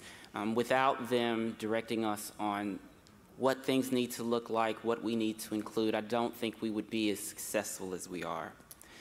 So when we develop these campaigns, we typically engage uh, individual, well, indi we engage on three levels. There's the individual level, we engage at the local level, and then at the national level. And we make sure that as we are developing these campaigns or we're making these community engagement strategies, that we are engaging communities at all levels of the research process. That's from conceptualization to protocol development to protocol implementation and then information dissemination. We make sure that the community staff, they inform, again, and direct everything that we do. Um, we come up with these study-specific campaigns, and because they know their communities best, they're able to tell us what will and will not work. An example of that is we used to just use um, uh, stock images like from Getty Photos, and they told us, no, no, no, no, no, that is not what we want. And so we actually started doing photo shoots in each of the communities where we're conducting um, studies because folks wanted to see actual people from their communities who represented them much better than those stock photos. And that's no shade to the stock photos. I think some of them are actually quite nice. Um, they also dictate what materials are used for community sensitization, recruitment, retention, and adherence.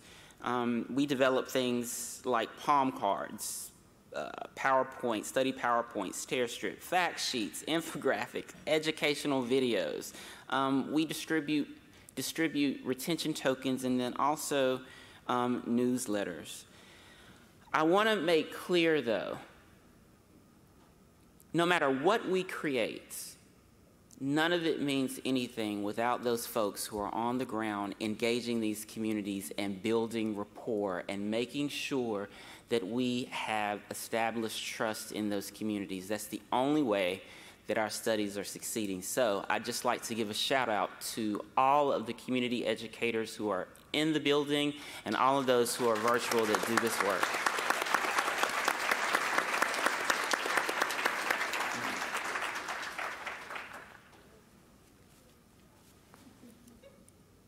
Oh, I'm done. I'm sorry, Melissa. You know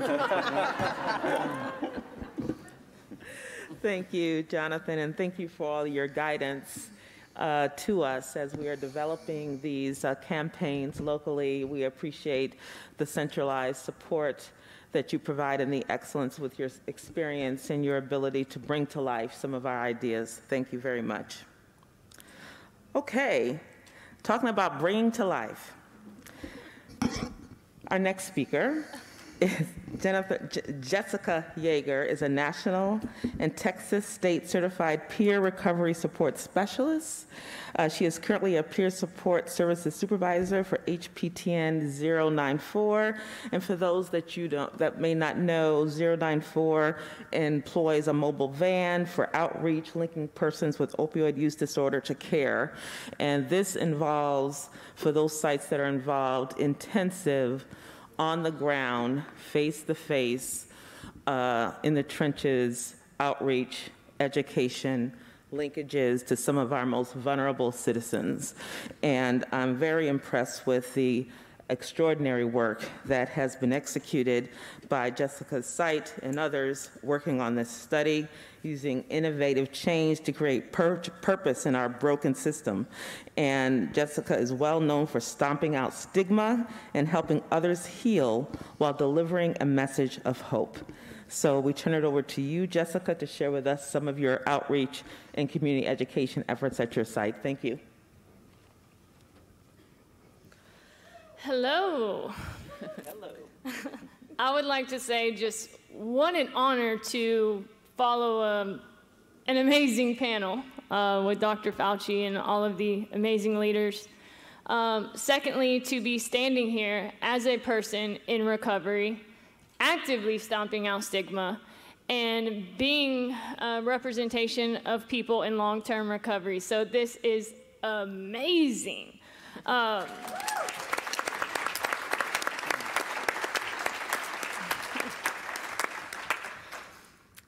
We have a um, we have a, a, quick video, but I wanted to show you some things. Um, this is our mobile unit in Houston. This is what our van looks like. Not as fancy as some of the other sites nationwide, but uh, this is a sneak peek for some of you that have not seen what one of our mobile units looks like. This is a Integrated Innovative Mobile Unit. This is where we can screen, assess, and enroll individuals struggling with OUD, OUD uh, in living with or without HIV. So, this is amazing, groundbreaking. Individuals can walk up to our unit and get services same day. So, if you guys would roll the video. So, the, the process to Project Integra is an individual walk up to the mobile unit they will have a COVID 19 screening to make sure our staff and them are safe. Once they have a conversation with the peer navigators, we will see if they're a good fit for our study. We will then give them a warm handoff to the clinical team. They will meet with the coordinator, do an assessment, and then meet with the uh, nurse practitioner. Once we receive the participant, we begin the medical exam portion of the visit. The nurse practitioner first asks the participant to share the details of their medical history and current health concerns. The exam will also help to identify health problems that the participant may not be aware of. Lab samples will be collected to check for HIV, STIs, hepatitis infection, and to test if participants have recently taken opiates or medications for opiate use disorder. Participants will receive all lab results in about a week. If lab results are abnormal, treatment will be given, or participants will be referred to a specialist if treatment is not available on the mobile unit. Regardless of the results, participants will receive counseling to encourage reduction of behaviors that put their health and lives at risk. At the end of the visit, the nurse practitioner or other clinical staff member will guide the participant to the next available peer navigator so that a risk reduction plan can be developed. All right. we wanted to just briefly show you that video so that you can really grasp and, and get a hold and better understanding of what occurs. Now, this is the Houston site. There are four other sites in Project Integra that are doing extraordinary work. Um, if we could go to the next slide. Maybe. All right. okay. So, in the Houston area, we have several more barriers than other states in this study. Um, we are not only the only red state and the only state in the southern United States, so that creates a lot of different barriers that some of our other sites may not have. Although we have barriers, we are still striving and helping individuals to live a life of long-term recovery.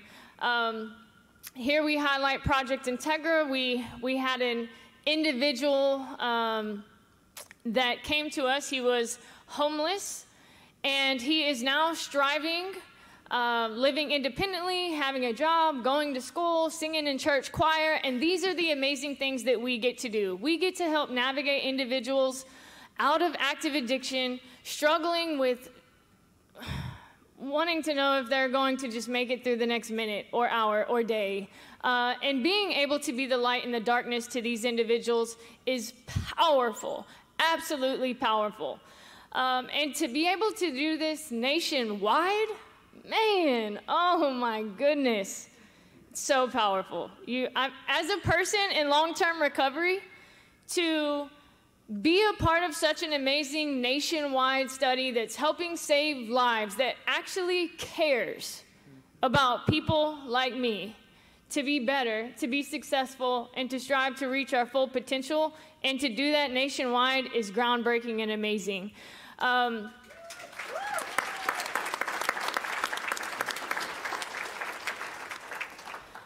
some of the few things we do as far as recruitment in the Houston area, there's a few things listed on the slide, but most importantly, it's building rapport.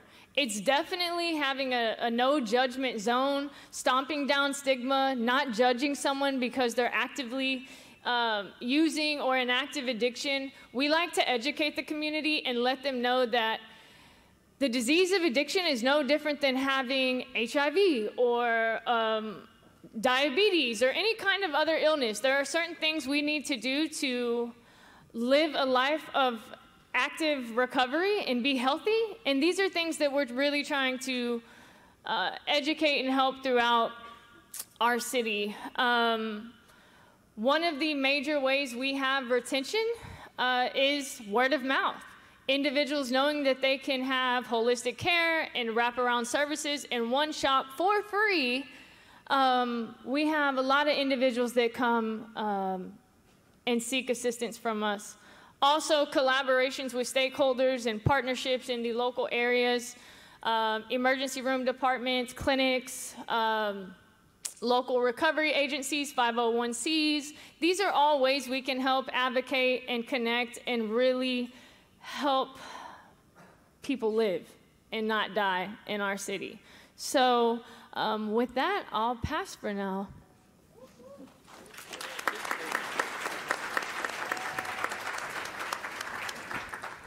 Thank you, Jessica. And I think one of the things that we wanted to communicate and to convey through this panel is there are a number of intangibles involved with the work of community engagement, right? That you are attempting to make a human connection that involves your personal humanity, right? And uh, your genuineness and your realness uh, to make those connections. And it's, it's, it's uh, intuitive for many, but it's really important to put it out there. This is a very important, we're giving of ourselves to make these connections and to recruit and retain in research studies.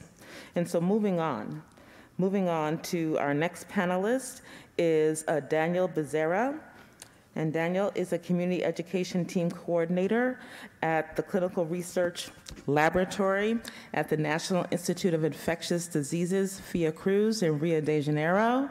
Daniel is responsible for planning and executing clinical trials, recruitment and retention, and digital marketing to disseminate scientific knowledge. And uh, Daniel uh, is also working on 091 uh, for the HPTN, and this is our study uh, to prevent HIV acquisition and transmission for transgender women involving peer navigation and gender affirming medical care and other services. So I'll turn it over to you, Daniel, and thank you. Thank you, Melissa. Good morning. Uh, first of all, I would like to take the opportunity to present recruitment retention strategy today. And I strongly agree with Jonathan. The successful the success of our recruitment retention is our community education team. Uh, we have a, a, highly engaged and vibrant community education team uh, composed of for, today four trans women and three gay men. And, and, our team has weekly meetings to discuss prior enrollment and retention rates to raise recruitment and retention strategies and to outline plans uh, for the next weeks. The team perform outreach assessments to identify the best place to reach and recruit potential participants, including strategic points where the trans population, specifically in this study 091, works and meets in nine, cl nine clubs in Paris. Uh, in addition, we have a productive partnership with communities involved in clinical studies. Uh, we have solid partnerships with NGOs and reference centers. What? What? Oh, sorry. Sorry. and uh, we have solid partnerships with NGOs and reference centers and also hold meetings in collectives where peer educations hold workshops in, with perform, informed and combined combination prevention present the studies and invite people to visit our sites. We also combine traditional methods and innovative approaches, including digital media strategies, to recruit participants not only in person, but also digitally. And retention uh, is al always ch uh, challenging, specifically among the highly vulnerable population that we assess. For us, retention starts at screening by establishing welcoming environments to potential participants, uh, accompanying them during the visit and establishing a connecting with them. The team maintains uh, regular interactions with the participants, especially by WhatsApp and Facebook, the most common social me medias in, Bra in Brazil. We also conduct in-person meetings which had been conducting remotely due to COVID-19, but we, we will now resume to in-person. Uh, the team is always av available to support the study participants using digital interactions to provide information, but also uh, other issues include personal matters. We also provide some gifts when the participants reach a specific goal, for instance, uh, coming to a specific visit. Uh, you can pass the, the, the, the, slides, please, just to see the, the, the, the gifts we, we are. Oh, this strategic points. The, the, the other one, please. And these gifts. Uh, we we we. Uh, uh, we use as uh, one strategy to uh, reference, peer reference. Uh, we give some coupons and ask the, our participants to invite her peers, friends, and then we provide not, not gifts just to the participants, come uh, like the peers that brings the persons to our centers. And, and that's it. Thank you.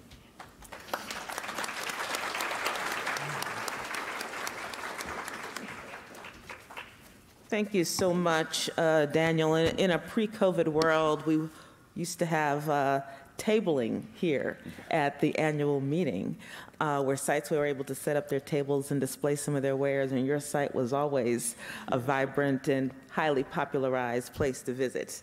Uh, so thank you for being here and for sharing uh, those strategies in your approach. Our final uh, panelist uh, comes to us as HPTN 084 protocol team member, community educator at Baylor Uganda Clinical Research Site in Kampala. Working in HIV AIDS prevention for two decades, she has vast experience overseeing community engagement programs, outreach, training on sexual health, adolescent and youth health, and liaising with research investigators and program managers to link them with communities. Uh, her name is Cici Sousa. And I'm very pleased to welcome her for the podium. She accepted this invitation late when uh, someone else was not able to travel. We appreciate your grace and your generosity for being here. If you don't know, uh, Cici was featured on I want to say about 10 years ago on CNN. She has a national profile, international profile, and much experience and uh, brings warmth and excellence into her work. And we welcome your presentation and your comments, Cici. Hello. Okay, thank you.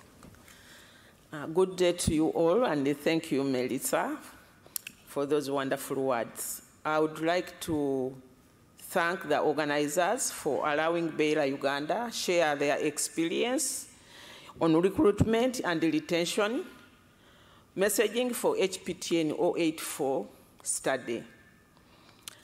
At Baylor Uganda, we use different integrated strategies for both recruitment and retention.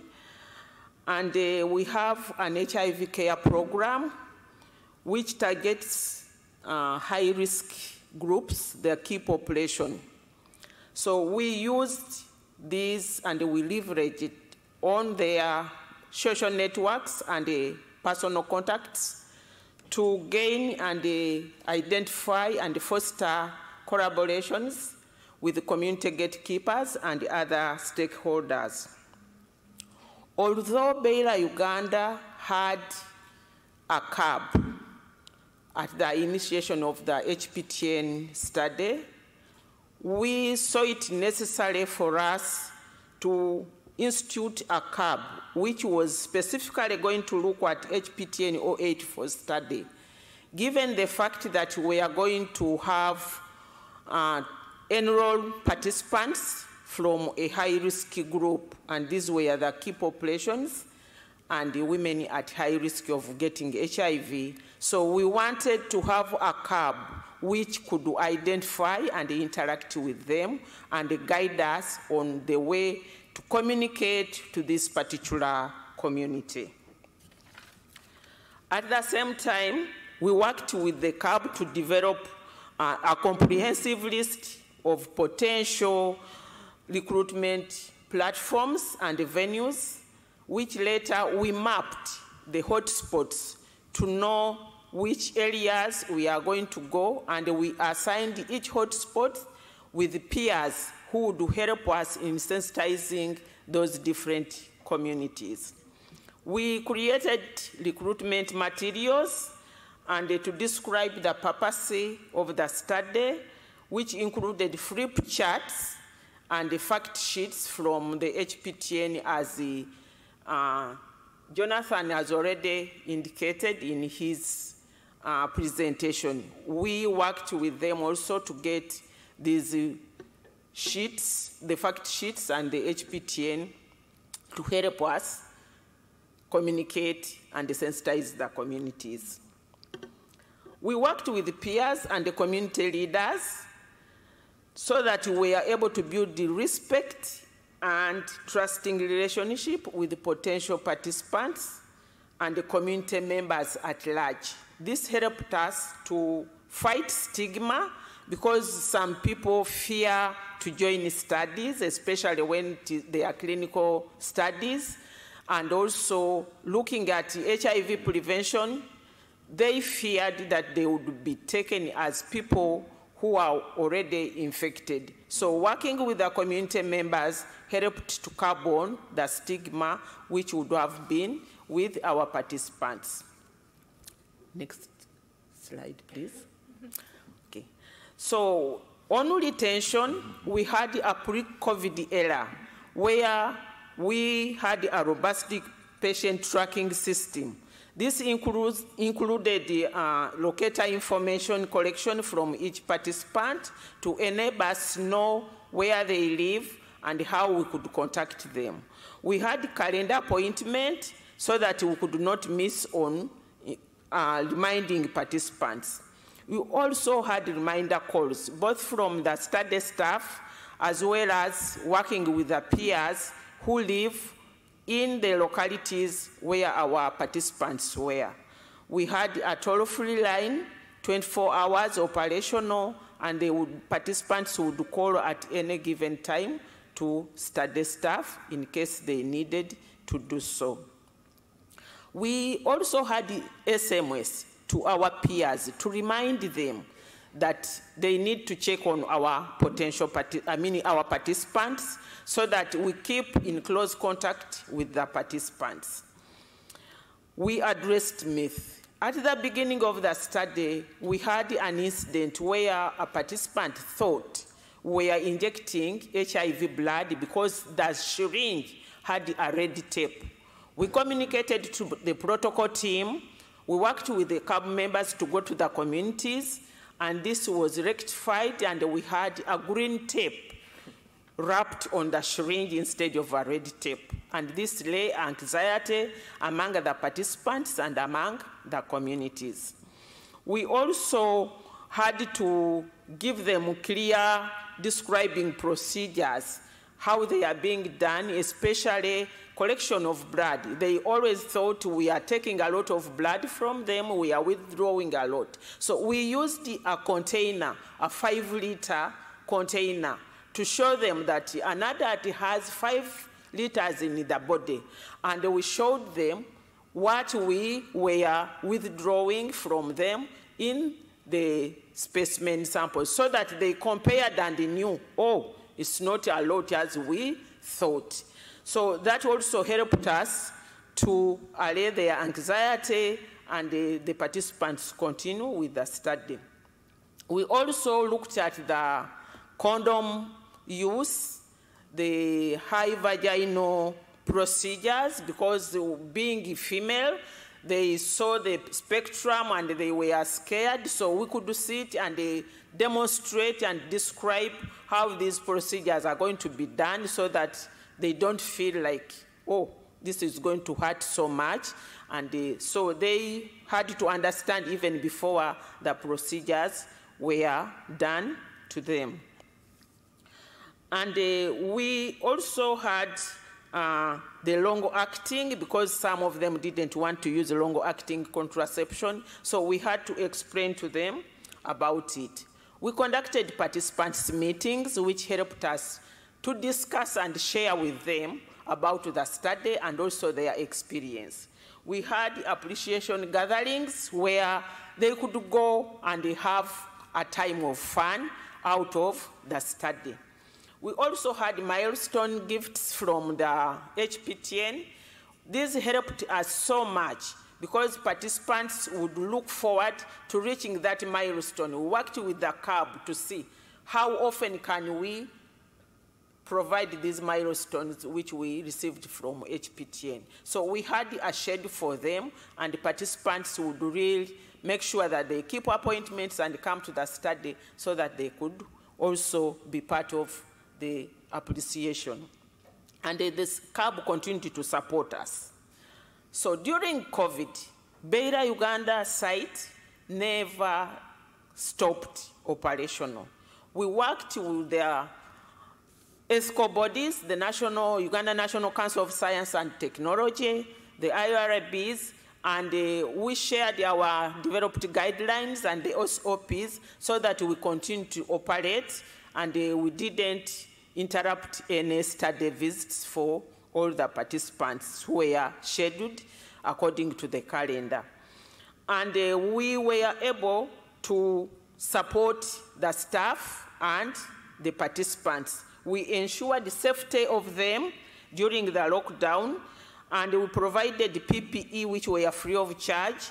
We provided transport to pick and drop participants, and we ensured that staff was at site to make sure that they take care of our participants until they were all done with the procedures and then escorted to go back. And we ensured that we give them reminder calls and also call to find out how did they reach home so that we know that they, they are protected. We also kept on communicating. We provided the internet services and airtime to CAB members and peers to make sure that there is constant communication to know how they are doing, both the CAB members, the peers, as well as the participants. We linked them with the government programs for food support. As you know that there was lockdown and uh, this was a high-risk group of uh, participants who could not go to work. So we needed them to stay alive and we had to link them. And with also support from the CAB members, they used their platforms to look for food so that we could do, have them supported within the communities where food was being distributed.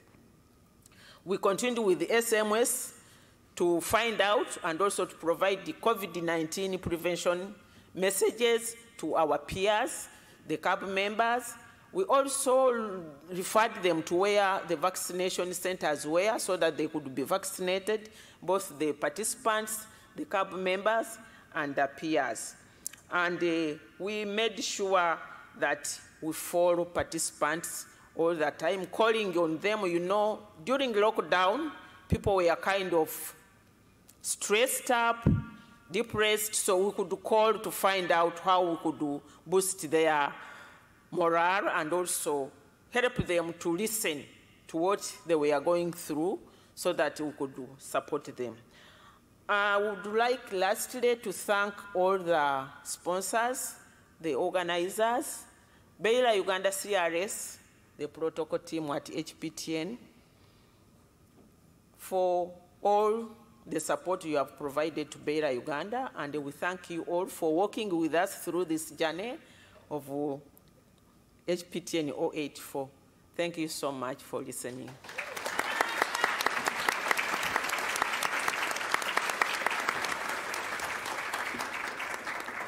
Thank you all. Thank you all. Appreciate everyone's uh, presentation and your uh, sharing of your experiences and your knowledge. And I know that we're slightly off schedule, but I'm going to take the liberty to, to ask at least one question that I'm going to ask all of you to respond to.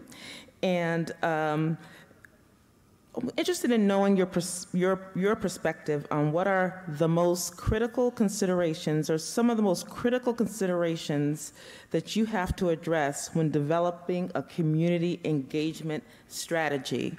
So, we've heard at this meeting already how important it is for our community engagement activities to be well funded, to have reasonable funding so that we can have time. We need time this is not something that you can do quickly to outreach and educate, that we need time um, and that we uh, need the resources to be able to educate and to carry out our community engagement strategies. But tell us from your perspective what some of the most critical uh, considerations that need to be addressed when developing a community engagement strategy. We'll begin with you um, right here from Houston, Jessica. Community engagement is essential. Just like yesterday, they talked about the ingredients of the pie, right? Uh, there are so many pieces, especially in the Houston area. We are boots on the ground. It is imperative that we have assertive outreach, that we are constantly uh, boots on the ground, getting the information out, letting people know that there are services that are free to them to step into a life of long term recovery. Also, essentially having partnerships with stakeholders community wide and statewide. There are essential community organizations that we can partner with immediately because we know not only are we struggling with OUD and those living with HIV, but there are issues such as housing and food and the bare necessities that individuals are needing that are struggling with living with active addiction and those who are walking up to our mobile unit. Also, we have an amazing interest group uh, with HPTN 094 in the Houston area that helps also with community engagement. They are, in addition to our mobile unit team and our staff, boots on the ground, also getting the word out and helping us navigate and uh, connect individuals to services. Um, most importantly, um, we have an amazing team and they are very vocal. I think it's so important when we're um, helping individuals struggling with opiate use disorder is that we speak up and we speak out and that we're not quiet and that there is a solution. So thank you. Thank you. Thank you. Daniel? Uh, the, mo- uh, the most important strategies that we use is mostly the peer educations be part of the community. They have to be uh, real peers so they can listen the, the issues of the community and share with us and we can try to do something about it.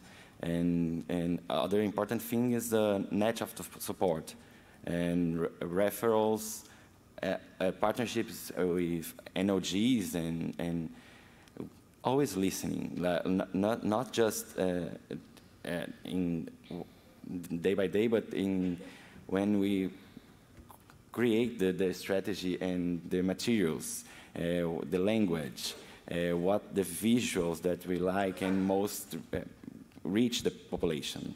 That for us is the most important thing. Thank you. Thank you.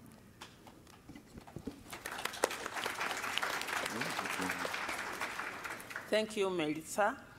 Uh, community engagement, as they have said, is essential for the success of the study. And uh, we look at involving different stakeholders to design strategies to enhance recruitment and retention.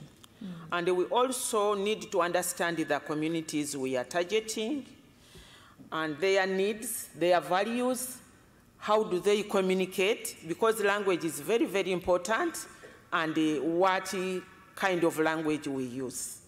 So you need to understand them.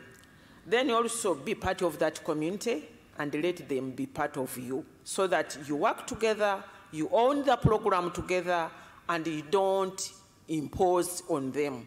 You work to solve everything together as a team, and they should be your stakeholders as you are they are stakeholders.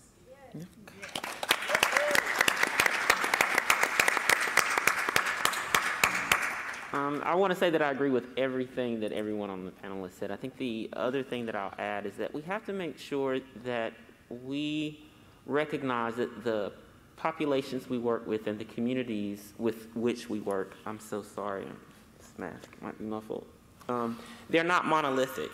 And we have to approach them, each community and each population uniquely, taking into account um, their specific culture, um, also their needs. We, we can't expect that there's going to be a one size fits all when we are engaging um, these communities in these very complex studies that we are implementing.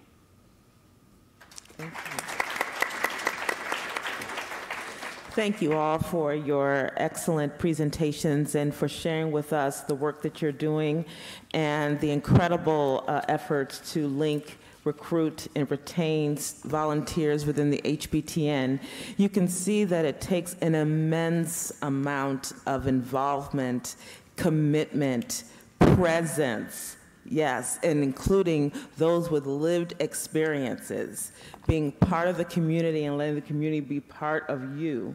Very important, very critical. Let's have another round of applause for our presenters, please.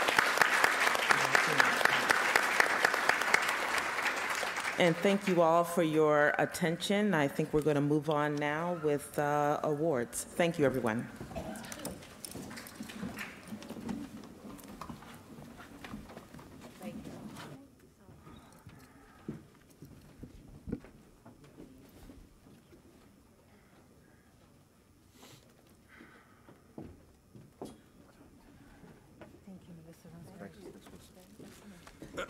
okay, to move forward, this is um, now, this is a rather emotional part of this meeting, an important part of the meeting for us. L- let me ask for a show of hands. How many of, of you here knew Dr. Ward Cates? Raise your hand. Raise your hand. So about half of you knew Dr. Cates. So we, we, I'm going to describe, say a few words about Dr. Cates and his life, and we provide an award uh, in his memory every year. So if I get the slides, uh, is that the first slide? Okay. Do I do I control? Do I the computer? There's no uh, clicker. A clicker. Dr. Fauci stole the clicker. Okay. Maybe this is the clicker. Ah, I got the clicker. Okay. So this that last thing, that's a picture of Ward Cates, who is really probably one of the most remarkable human beings you could ever meet. Uh, he was born in Cleveland, Ohio. He's raised in Rye, New York, and he was funny and charming and very athletic. He's a really terrific tennis player, played college tennis. Married to his wife, Joan, has two daughters, uh, Sarah and Deborah, who are thriving, and four grandchildren. Uh, he was uh, a remarkable champion of public health um, writ large. Um, he worked at the CDC from 74 to 94.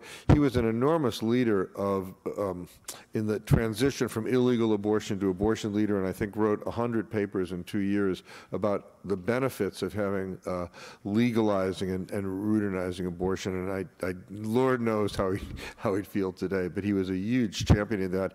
He then joined FHI uh, in 1994. He started the network HivNet, and I I'm trying to remember Carl's role in HivNet. Uh, it's you know we're going back a long way. Zero. It- it- it- I joined it- NIAID in 92. Yeah, so. okay, so, so, is it Ward? was Sten.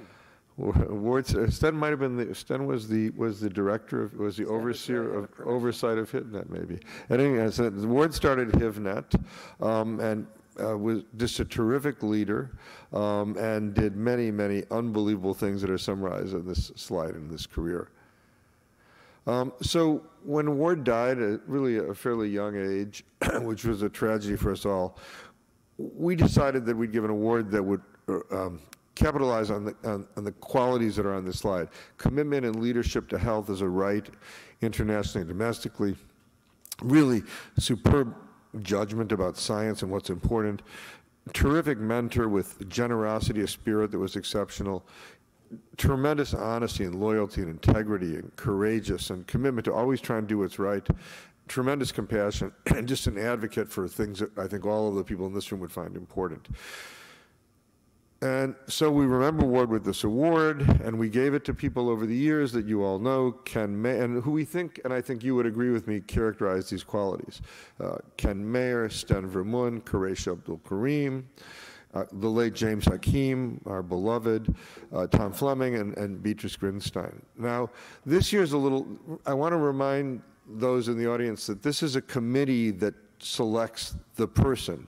So what do you do when the person doesn't want an award? This is this is the problem we ran into. So the, the person who will receive this award assiduously told me, I please don't ever give me any award. And I said this to the committee, I think well, I was on the committee, and they said, well, we don't, it, it's really not up to the person to be recognized, you know. So I was, you know, and so I want to apologize if the person's angry with me. It's the committee that said, you, you must get this award. And so this year, this really important award goes perhaps with no surprise to our friend and beloved Kathy Henson.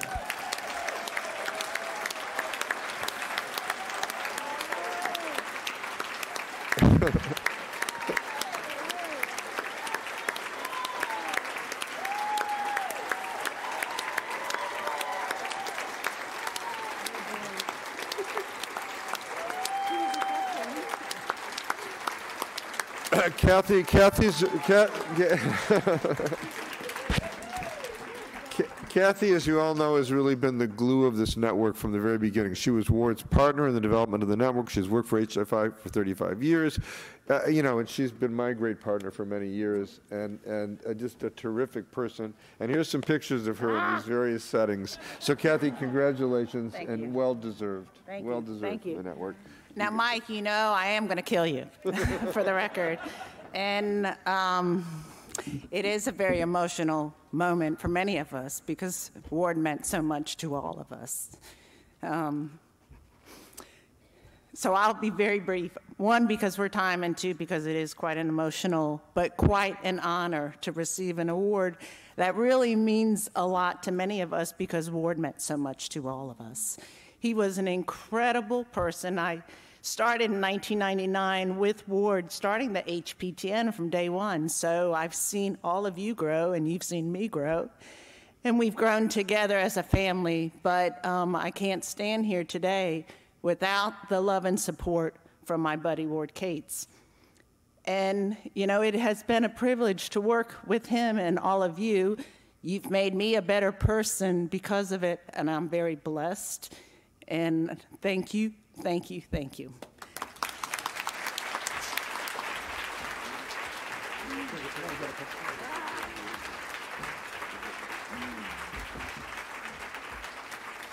Take your nurse off. Take it off. Take it off for a minute. Thank you. I know. Thank you. Well,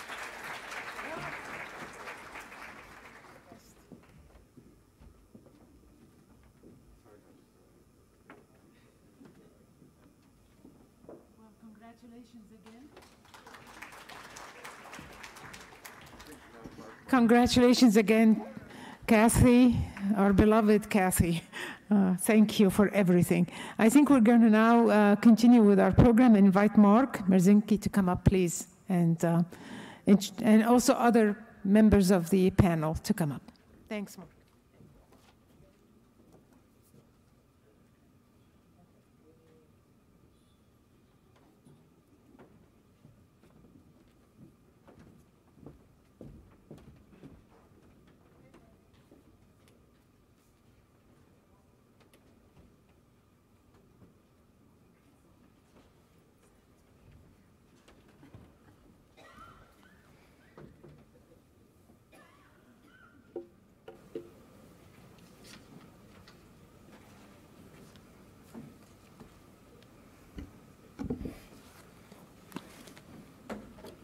So greetings, everyone. Um, my name is Mark Marzinki, and I'm the co-director of the HPTN Laboratory Center.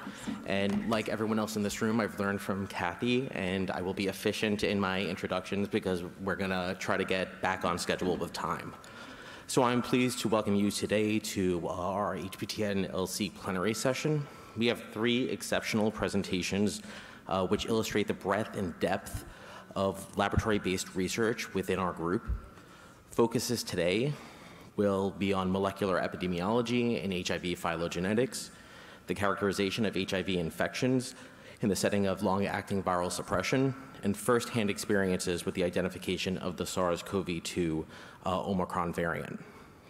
As stated in the agenda, we'll field questions for all speakers at the uh, end of this session.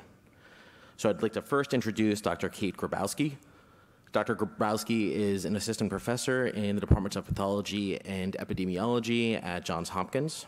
Her research focuses on the epidemiology, prevention, and control of HIV and sexually transmitted infections in sub Saharan Africa. Most of Kate's research uh, is nested within the Rakai Community Control Study, one of the largest and oldest population based HIV cohorts worldwide. She also serves on the exec executive committee on the Pangea HIV Consortium and directs the HIV phylogenetics core within our laboratory center.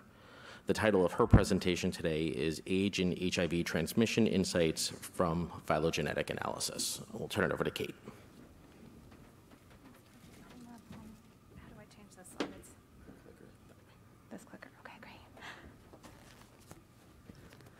Well, thank you to the meeting uh, organizers, especially uh, Mark and Sue, for this wonderful opportunity. It's truly an honor. Um, I'm new to the HPTN and a little nervous sitting in front of all these brilliant minds here, so just bear with me. Um, today, I'm really excited to share uh, some recent work uh, that we've been doing in collaboration with the Rakai Health Sciences Program and the Pangea HIV Consortium looking at the intersections between age, gender, and HIV transmission in sub Saharan Africa using molecular epidemiological approaches. Can I turn the. Sorry, I just need to. Did the slides turn or no? Oh, there we go. Um, so, from the perspective of susceptibility by almost any metric, the African HIV epidemic is predominantly female. You can see from this map um, male to female HIV incidence ratios at the country level uh, globally. Um, higher ratios here are in red, and lower ratios are in green. And the green areas represent areas of higher female HIV incidence. And this map clearly shows that the African HIV epidemic is heavily concentrated among women um, who have most of the new infections, with some exceptions in North Africa. Now, the reasons for this are really um, unclear. Um, there are a number of different uh, factors that are at play, and at the most proximal level, um, it could be due to differences in female susceptibility, differences in male uh, infectivity. It could also be due to sampling biases. We saw a really great presentation yesterday um, for the 071 study that showed that um, uh, men and, and uh, HIV uh, status are um, associated with study participation and follow up. Um, but it could also be due simply to contact rates, so with men just having more uh, contacts than women. Next slide. So what we know uh, about risk factors for female acquisition mostly comes um, from longitudinal studies. We have an abundance uh, of information on uh, factors that are associated with HIV acquisition among African women, uh, both from studies in the HPTN and longitudinal population-based cohort studies like the Rakai program. Um, and across most of these studies, what we've seen is that younger age has been a very historically strong predictor of risk of HIV acquisition among women. And programs and research efforts have rightfully targeted uh, this subgroup of the population. Um, I think one of the most notable efforts in this space is the DREAMS program, um, sponsored by PEPFAR. We know a lot less about the male partner sources of these female infections, though. We have some data that comes from longitudinal studies of serodiscordant cohabitating couples, but those studies are, are old and they haven't really been, um, there hasn't been really much in that space since universal HIV treatment access. Um, we also, um, also, those studies don't capture transmission that occurs from non-stable partners outside of the household. So there's a gap in information um, that we're learning from those studies.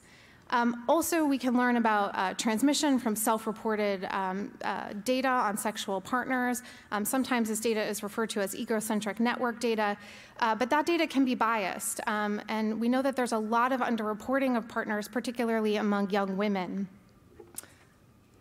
So we have been using alternative approaches to understand transmission at the population, including transmission that is happening both within stable and non-stable partner networks. And we have specifically been using molecular epidemiology and phylogenetics to characterize sources of HIV transmission by age and gender um, in African settings that have uh, higher female HIV burden. The data that we're collecting has largely been collected with the, um, through the Pangea HIV Consortium. The Pangea network um, includes partners across the African continent, including uh, HPTN studies. It has um, uh, generated um, deep sequence uh, uh, HIV genomes using uh, custom laboratory protocols and Illumina technologies for more than 30,000 people living with HIV. It has also spearheaded the development of analytic pipelines, including HIV Shiver, which is a custom assembly and, um, and uh, uh, alignment program uh, for diverse African genomes, and the Phyloscanner tool, which takes the output from Shiver um, and creates uh, phylogenetic trees in the thousands and hundreds and thousands in some cases, depending on the size of the data set. And then from those uh, trees generates transmission networks where we can identify likely source recipient pairs to look at transmission drivers at a population level. So I would be remiss if I didn't mention that we have been thinking very deeply about the ethics of the work that we do in Pangea. We have um, an entire working group that's dedicated to thinking about ethical issues and includes bioethicists and community members.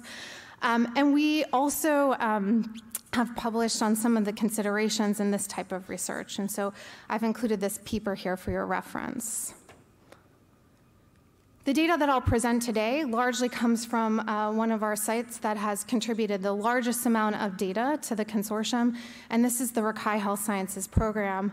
The Rakai Health Sciences Program has been doing research in equatorial Africa since uh, the onset of the pandemic uh, more than 40 years ago. It's led by uh, Dr. David Serwada, who is an, uh, an HPTN member here that many of you may know.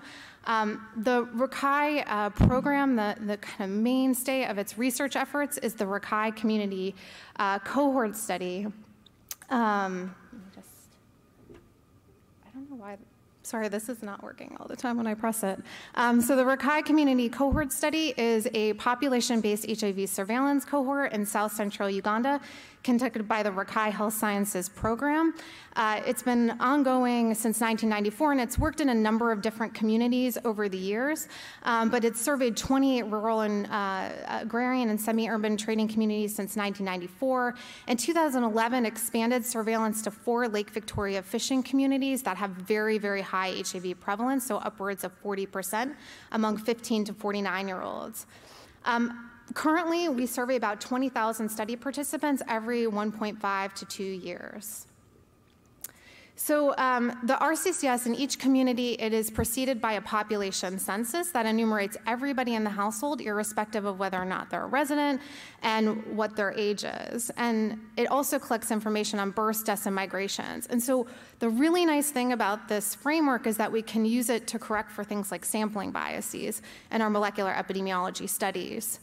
After the census, there's a survey where we um, uh, ask uh, um, our uh, eligible participants who are residents in the community all different information about their demographics, uh, their sexual behaviors, their sexual partners in the form of egocentric network data.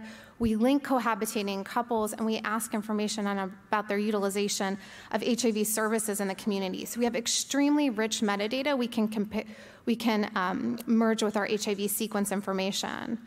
We also obtain biospecimens for HIV testing and for molecular epidemiology, and we have a specific consent for our molecular epidemiological studies. And of course, we link our participants to the relevant HIV services. So we have been uh, partnering with uh, the Pangea Consortium since 2011. Uh, we've generated more than um, from, from more than 5,000 participants, we've generated deeply sequenced HIV genomes. Um, this is a, a, schematic of our workflow um, that we published in 2019 in Nature Communications, where we outline how we have used the Shiver tool and the Phyloscanner tool to reconstruct directed um, transmission networks with uncertainty uh, from, uh, from African data. And I do want to mention that the networks that we're generating, and you can see them here on the, on the right-hand side, um, they have these uh, kind of multi-directional arrows, and that indicates that there's a lot of uncertainty in, um, in, in, in how we're reconstructing these networks with the phylogenetic data. There's also uncertainty that's introduced from sampling biases.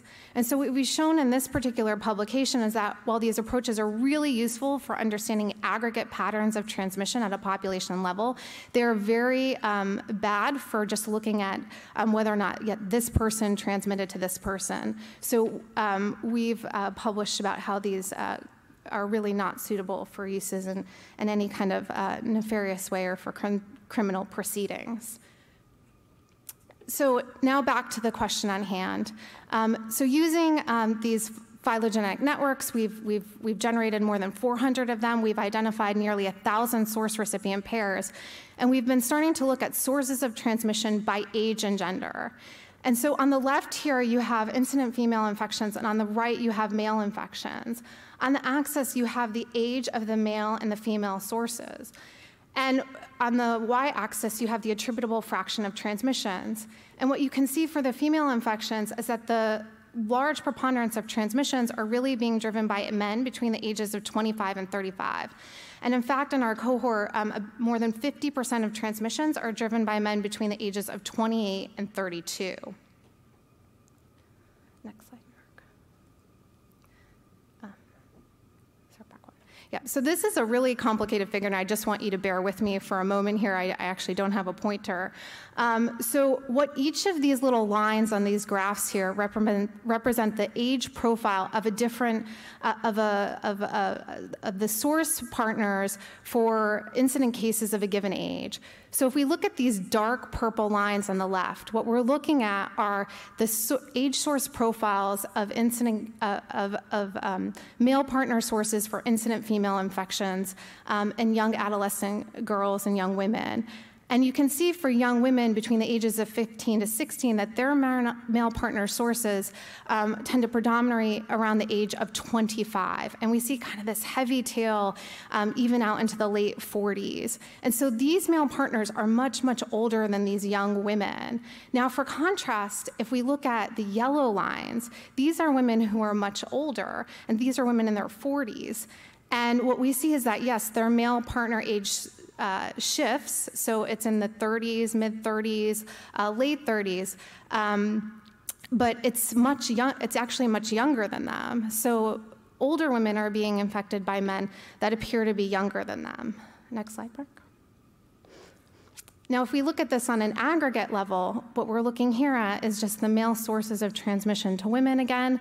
Um, on the left panel, you can see the proportion of transmissions that are due to women are that from to women from men who are younger or the same age. In the middle panel, from men who are one to five years older, and then in the far right panel, we're looking at age disparate relationships, so five years plus. And among our youngest women, we see that the vast preponderance of transmissions are due to men who are much, much older than these women, but that this relationship completely inverts as women age. And if we start looking at the other end of the age spectrum for women, most women are being infected um, at those ages by men who are actually younger or the same age as them. So while these age disparate partnerships are important for young adolescent girls, they're not as much for older women. Um, so we have uh, actually been able to quantify the previous slide, Mark. We've actually been able to um, uh, quantify the overall proportion of transmissions that are due, if you could go to the previous slide, um, that are due to um, uh, to men. Um, we have found that men um, are substantially more likely to drive transmission uh, than women. Um, we've been linking this up with our HIV viremia data. And yes, we see um, that HIV viremia is in fact uh, much more common in men than women. Here we're looking at the mean geometric uh, viral load among all HIV positive persons on the left, with men in green and women in red. And you can see that young men in particular tend to have very high levels uh, of viremia. Um, but our actual peak transmission isn't occurring where that 20 to 24 year old male uh, viremia is highest. It's occurring a bit later in the 25 to 35 year old age range. So it doesn't quite stack up with what we see with our viremia data um, uh, with respect to transmission. So um, for now, we've been, um, Mark, next slide, please. Um, I don't know why the slides aren't, aren't shifting. I'm, I'm so sorry. Um, so I've been I've been talking about like that, that this is a very static entity, um, uh, that this isn't changing, but we know that um, HIV incidence is rapidly declining in sub-Saharan Africa. We've seen a 43% decline in HIV incidence since 2010, and so we've been starting to ask the questions about whether or not these um, age and gender-related transmission dynamics are actually changing, um, and um, Next slide, please. And what we see in the Rakai community cohort study is the same thing. We're seeing lots of declines in HIV incidence with a scale up of antiretroviral therapy. Next slide, please. Um, so, so we have been looking at HIV incidence rates by age and gender in our cohort. Um, on the left, you have women, uh, and on the right, you have men. Um, HIV incidence is on the y-axis. And in red, we see HIV incidence patterns in 2001 and green in 2017. You can see these huge declines in HIV incidence among the youngest age groups, uh, in both men and in women. But in older ages, what we're seeing is, is not as much of a, an incidence decline, and in women, almost no incidence decline in these older age groups. Next slide. And so, if we actually looked at the shifting sources of transmission um, to young women and to older women, um, we also see some uh, very interesting changes. So, we've taken our molecular epidemiological data, we've split it up into two calendar periods um, 2010 to 2013 and 2014 to 2019. In the first two panels, we're looking at female to male transmissions in these two periods, and in the last panels, male to female transmissions in these two periods. And so I'm going to draw your attention to the third panel here, which are male to female transmissions in 2010 to 2013. And you can see the yellow is really concentrated around age 20 um, for these uh, for, for, for women. And there's this kind of big vertical blob indicating that women are really being um, infections in women are really being driven by these age disparate partnerships for the most part. But what we're seeing now is this shift. And we're seeing this yellow mass kind of move up along the, the diagonal of this axis. And we're seeing a flattening of that vertical blob that you see in that third panel. And what this indicates is that the average age of infection is actually increasing over time, and that we're seeing more transmissions that are being driven by same age or younger partnerships. We see the same thing that is happening among men. So our epidemiology is changing. Um, if you can change the next slide. Um, we are also seeing increasingly driven male transmission flows over time. Um, so these uh, bar plots here um, on the right indicate how uh, the transmission flows have changed um, uh, with men, um, and the yellow uh, driving uh, uh, much more of our transmission flows on the right-hand side there. Next slide. So I started this talk by arguing that from the perspective of susceptibility, the African epidemic is really predominantly female. Um, but from the perspective of transmission, it's really predominantly male. Next slide. So we have seen here that young, unsuppressed, positive men, uh, particularly between the ages of 25 and 34, are linked uh, disproportionately to many transmission events uh, from our molecular epidemiology data.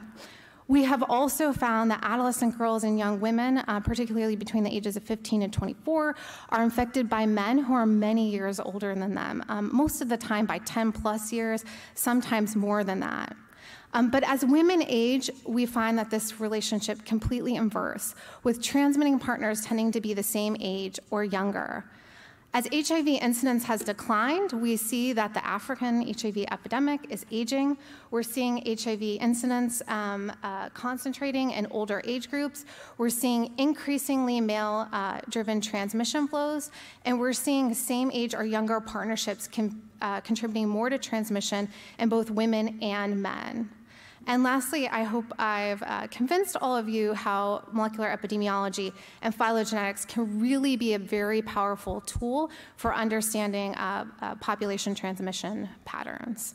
Um, so with that, um, I'm going to conclude, um, and thank you all for your time and attention.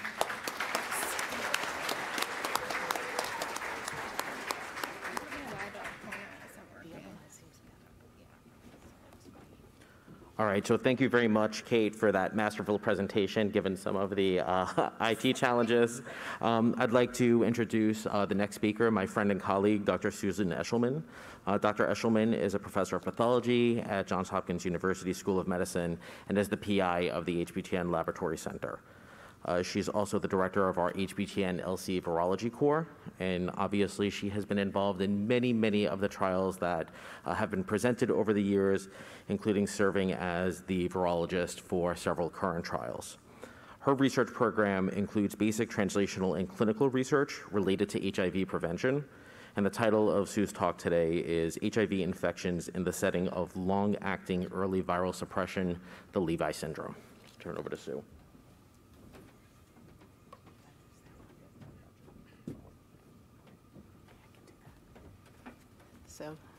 Good morning, everyone. Thank you so much for the opportunity to share this um, information with you, some um, of what we've learned from HPTN um, 083 and 084. So for many decades, we've all uh, become comfortable with a, uh, an understanding of what acute and early HIV infection look like. And here's a classic slide, which you know could have been from years and years ago. But typically, you think of acute infection as being accompanied by an acute illness with certain symptomatology. But mostly notable with high, sometimes extraordinarily high RNA levels very, very early in infection within the first week or two. Um, and also paralleled because the RNA is in the virus, high levels of antigen on the circulating virus. And then those drop down fairly quickly within a couple weeks as soon as the body realizes that the infection is there and responds by producing anti HIV antibodies. And this drives the level of circulating virus down, and the RNA usually achieves a steady state. This is because of the extraordinarily high levels of RNA and antigen early in infection, these infections are usually um, not difficult uh, to, uh, to detect using different laboratory tools. But what I'm going to talk to you about is some of what we've learned from looking at early um, infections in the setting of long-acting injectable cabotegravir um, when it's used for PrEP. And this has um, uh, my, uh, you know, a partner in crime and colleague, uh, Rafi, um, and I uh, think this really um, deserves uh, its own name, and um, we refer to this as long acting early viral inhibition or the Levi syndrome. So, just to remind everybody uh, quickly, the HPTN 083 and 084 trials were randomized clinical trials that compared the efficacy of CAB-LA, long acting cabotegravir, to daily oral TDF FTC for HIV prevention. And you can see the enrollment numbers and populations listed here for each trial. Both trials were unblinded in 2020 because CAB-LA was shown to be superior to oral TDF FTC for HIV prevention. And in December 2021, the US FDA approved CAB-LA for prevention of HIV sexual transmission under the brand name of Apretude. This is a very, very brief overview of just the most key points of the cabotegravir arm in both trials. Everybody was screened for HIV infection within 14 days of enrollment, um, provided informed consent. The first step of the studies required um, oral uh, uh, cab cabotegravir. This was all blinded, but um, for every day for five weeks. The oral phase um, followed by um, one injection a month later, and then injections every two months for about three years. If people finished that entire course, uh, they then had um, were provided with oral daily oral uh, TDF FTC to cover the cab the tail or the period after injections end when the levels of the drug um, wane, and they received uh, placebos uh, during this period. So everybody was tested for HIV at study sites at every study visit. They had to have a negative RNA test within 14 days prior to enrollment. And then in 083, they had one or two HIV rapid tests and an instrumented, what we call fourth gen or antigen antibody test. If any of those tests were reactive, all the test results were referred to a clinical committee, um, which then advised them how to use locally available RNA or antibody tests to confirm infection. And in selected cases, samples were sent in real time to Johns Hopkins uh, for an ultrasensitive DNA assay. All the samples came to the HPTN Lab Center, and we used an extended panel of assays to do um, retrospective testing, which turned out to be quite extensive, using the panel of assays shown here, which do include at the bottom a single copy RNA test, uh, and that was performed um, in Lou Halvis's lab at the University of Pittsburgh. And I should mention that the DNA assay that was performed uh, in this trial was in Debbie Persaud's lab. So um, we saw several uh, cases uh, that we've published um, the data on of incident cases, and some of these were cases in people who had no CAB exposure in the past six months. And um, in these studies, the purple area shows the period of oral cabotegravir. The orange area shows CAB period of CAB injections. If it's slashed, the injections were delayed and then people might have gone on to receive Truvada uh, afterwards, which is shown in blue, or had a period with no PrEP, shown in white. And you see the first HIV positive visit with the little green symbol at the end, and the first time the site detected the possibility of infection with the little red asterisks at the end. And in these cases where there was no recent CAB exposure, the study sites detected HIV infection at the time of the first HIV positive visit. In all cases, there was not a problem detecting these infections. But we also had uh, cases, um, either both baseline cases and cases uh, that were incident, where participants did have recent CAB exposure. There were four cases where, despite the RNA screening, participants entered the study and did have HIV infection at the enrollment visit that the site was not aware of. And they went on, uh, three out of the four of those participants went on to receive CAB injections. They all received some CAB, um, CAB um, exposure.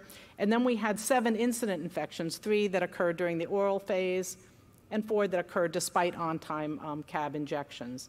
And in all of these 11 cases, detection of the infection, which is shown here at the end of the bar to the right with the little red symbol, which might be hard to see, was delayed um, uh, from the time that we were first able to determine when infection was um, clearly there at, by lab center testing. So I'm going to show you some case studies. In these diagrams that I'll show you, you can see that the, um, there was a four-week oral lead-in period followed by CAB injections. Those are shown here by vertical red lines, and we show CAB concentrations with little orange circles.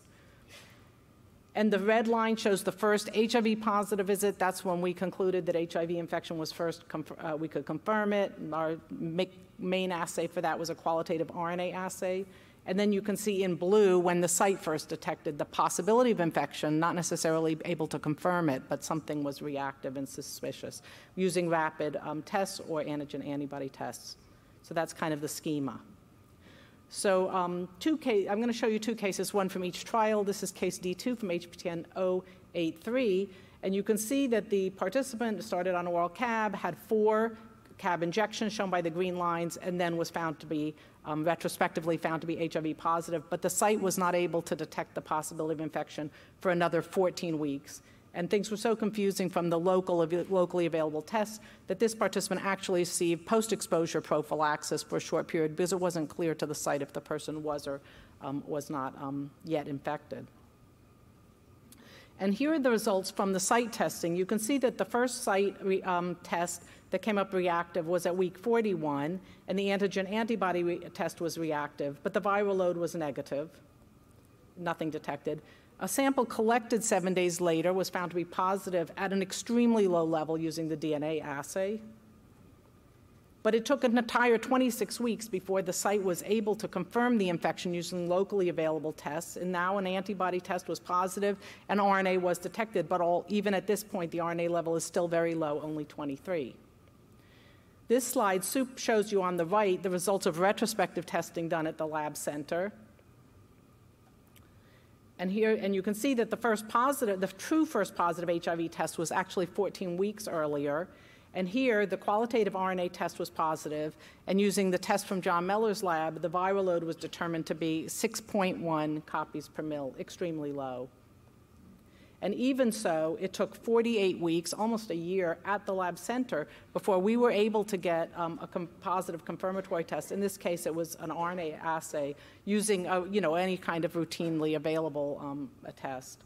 Um, the other thing which was very strange about uh, this, this case, but we have seen it in now in several other cases, is that usually when you have HIV infection, if you uh, become RNA, po- if you detect RNA, unless you're treated, it stays there and you still see it. It doesn't go away. And if you make HIV antibodies, they stay there, they, they don't go away. But here what you see is not with just one assay, but four different assays, one detecting antigen, one detecting DNA, um, and, and uh, two antibody tests and a qualitative RNA test, that these antibodies go back and forth from reactive to non reactive, detected to not detected, positive, uh, negative to indeterminate, and sometimes flip back and forth. And this is very unusual. So, this is the, one of the earliest things we noticed that's unusual about these cases.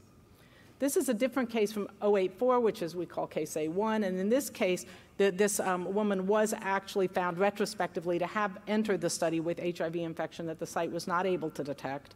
And it took more than six months before the site detected the infection, or the possibility of infection, I should say. And in that time, she received oral CAB and five CAB injections. These are the site results. The fight site first detected the possibility of infection at week 33 with a reactive antigen antibody test. Seven days later, uh, 20 days later, a sample that was collected had a very, very low result with the DNA assay. But even five months, it took five more months for the site to be able to confirm the infection with a locally available assay, in this case, an RNA test, and the RNA level, as you can see, is still quite low, still only 33. And here are the results next to that from the laboratory center. And you can see in the red box that the qualitative RNA test was positive at the first five visits. Um, so there was no question that this person entered the study with infection. The confirmatory antibody test, which is the Geenius assay, was never positive in this entire follow up period in our hands. And here you can see the viral load, which was very low at study enrollment, less than 40, and then um, rose over the time during the oral CAB period to a top uh, level of 6,300. But then, as soon as injection started, the RNA dropped, and it didn't just drop low; it dropped so low that for six weeks on six months on CAB injections and six months after the last CAB injection, the RNA was not even detectable with a single copy RNA assay. So it went completely um, underground. So our conclusion from not these two, these two cases, but all of our cases in aggregate, were that HIV rapid tests and antigen antibody tests often fail to detect HIV infection in the setting of CAB-LA PrEP, and that suppression of viral replication and delayed and diminished antibody expression can persist for months following HIV infection, even after infections are discontinued, and that sensitive RNA testing allows for earlier detection of infections in this setting. Um, the um, US FDA a package insert recommends that individuals on CAB-LA PrEP be tested with a sensitive RNA assay prior to initiating the drug and with every subsequent injection and further require use of an assay that's specifically approved or cleared by the FDA for diagnosis of acute or primary infection. And here are the current USC updated CDC um, DHHS guidelines for um, HIV testing in this setting, uh, which includes performing an RNA assay, the most sensitive one available, before starting CAB with each injection. And then they added also to continue quarterly HIV testing for 12 months after stopping injections. And these are just the two assays that fit the FDA uh, specifications for use in this setting. They're highly sensitive assays specifically approved for diagnosis of acute HIV infection, RNA tests there is a lot of impact of missing or delaying diagnosis in this setting. Of many of those participants got unnecessary CAB injections after they were actually infected. In many cases, or most, all of these cases, uh, the, the, the ability to start ART was delayed, and these led in many cases to emergence of INSTI resistance. And there was also the potential to impact personal health and ongoing HIV transmission when this happens. Um, we did evaluate INSTI resistance, and we continue to in um, the CAB arm of both trials. And in one, in, the, one of the 083 studies uh, that's, that, that's um, the furthest along, we, we wanted to know if you detect infection in this setting earlier using a highly sensitive RNA assay, do you reduce INSTI resistance risk? And we used not only a standard clinical uh, assay performed at Monogram Biosciences for samples with more than 500 copies per mil, but a highly sensitive um, INSTI genotyping assay performed at the University of Pittsburgh uh, in Lou Halvis's group. And in most cases, major INSTI, this, even this was unusual because the resistance mutations we saw I thought, uh, before we did this study, I thought they would appear when the virus broke through with a high viral load. That's when you'd first see the resistance, but this was not the case. We first saw the resistance in low viral load samples. In six of seven cases, the viral load was still below 200, 250 copies per mil, and in two cases, below 40 copies per mil. The resistance emerged very early, uh, a median of 38 days from the first HIV positive visit. And also, the CAB concentrations were quite high. These, the resistance didn't just emerge as the CAB concentrations dropped. We saw it early with the higher concentrations uh, in most cases. And so we did conclude that um, use of an RNA assay to screen for infections would have detected infections before a major INSTI resistance mutation was detected in four cases and before additional mutations accumulated in a fifth case. Two cases we couldn't evaluate because the, um, we couldn't get genotyping results, the RNA was too low. And so here you see that um, you had uh, seven cases with INSTI resistance in this report, one baseline, two oral phase, four injection phase. And on the left was what happened when you used the methods for site uh, routine testing, rapid tests, and antigen antibody tests that were done at the site. In these six cases, they all, um, they, they all had resistance. But if you had used a sensitive RNA test to look for infection at any, every visit, you would have detected infection in all but one of these cases uh, before INSTI resistance emerged. So we concluded that use of a sensitive assay, it will help identify these infections earlier, there's no question. And it may allow for earlier ART initiation, which potentially could reduce the risk of INSTI resistance. But you have to use an extremely sensitive RNA assay to do this because the viral loads in these cases are low. Most important, I think, is that you have to put these um, findings in context. This 083 study enrolled and randomized more than 2,000 people and had more than 3,000 person years of follow up. And among the 18 infected, we found resistance in seven, and only four of those were in participants in the injection phase. Keep in mind the oral phase is now optional. So in the context of this proven high efficacy, Cabo should not only be considered but embraced in the toolbox for HIV infection in settings we believe where RNA screening is not readily available. We recognize that that will be many, many settings. That should not be a deterrent to um, implementing this important regimen. Um, and finally, I'd like to now, with that as a backdrop, uh, give you some um, hope to uh, show you that we really think this is a different kind of syndrome, these early infections. Uh, and I have a table to contrast um, acute HIV infection on the left with the Levi syndrome on the right. Um, the, it, acute HIV infection is, is a natural phase of HIV infection. The Levi syndrome occurs when long-acting antiretroviral agent is used for PrEP, and the prototype here we have information is CAB-LA. Um, acute HIV infection, this is a new HIV infection, always, you, Levi, you can either see this if the infection occurs during PrEP, or if you start a CAB-LA PrEP in someone who already has acute infection that wasn't detected. Viral replication in acute infection is explosive, but in the Levi syndrome is smoldering. There's a classic constellation of symptoms with acute HIV infection. You can see them here, fever, chills, rash, and other. But when we looked for any kind of symptoms reported, signs or symptoms clinical at all, in Levi, there is really nothing consistent, if anything at all. Often no, nothing's reported. Because the viral loads in normal acute HIV infection are so high, DNA levels are high, antigen levels are high. It's not hard to detect infections with fourth gen assays, with RNA assays, even less sensitive point of care assays, and our blood supply is um, screened using pooled HIV RNA tests. And you can get away with this because the RNA levels are very high. Um, but in Levi, this doesn't work. You really do need a very sensitive RNA assays because RNA levels are usually low or undetectable, same with DNA, and you have really diminished or delayed antibody production. It's very rare for antibody for test results to flip-flop in acute infection, but this is common in this setting um, when you have infections in this setting. Acute infection usually lasts one to two weeks. The Levi syndrome can go on for months and months until viral breakthrough, which usually occurs um, if you uh, discontinue injections or um, um you start treatment. Um, persistence, you rarely have acute infection persisting beyond a week or two but here this is very common um, until for months, even after the age, viral agent like CAB-LA is stopped. Uh, because of the very high levels of RNA in acute infection, it is a major driver of the epidemic. These people are highly um, infectious when the viral load is that high. We think that in the situation of Levi, these people with these infections in CAB-LA setting are unlikely to transmit the infection to others while their viral loads are very, very low, except possibly in the setting of blood transfusion should they donate um, and possibly not be aware that they're um, infected. Um, and drug resistance is uncommon in acute infection unless you get infected with a transmitted strain, but it can uh, emerge um, often in Levi, um, even when the viral load is very low. So this is just food for thought, and as we learn more about these infections, as we continue analyze infections from both trials, um, we will come back with updates.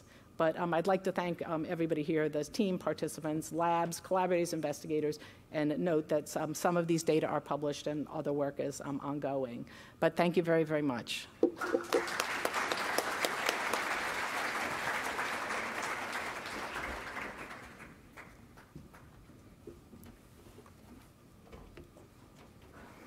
Great, thank you, Sue, for that wonderful summary uh, of Levi. And for our final speaker today, I'm privileged to introduce uh, Dr. Sikhulile uh, uh, Moyo. Dr. Moyo is a uh, medical virologist based at the Botswana Harvard AIDS Institute Partnership.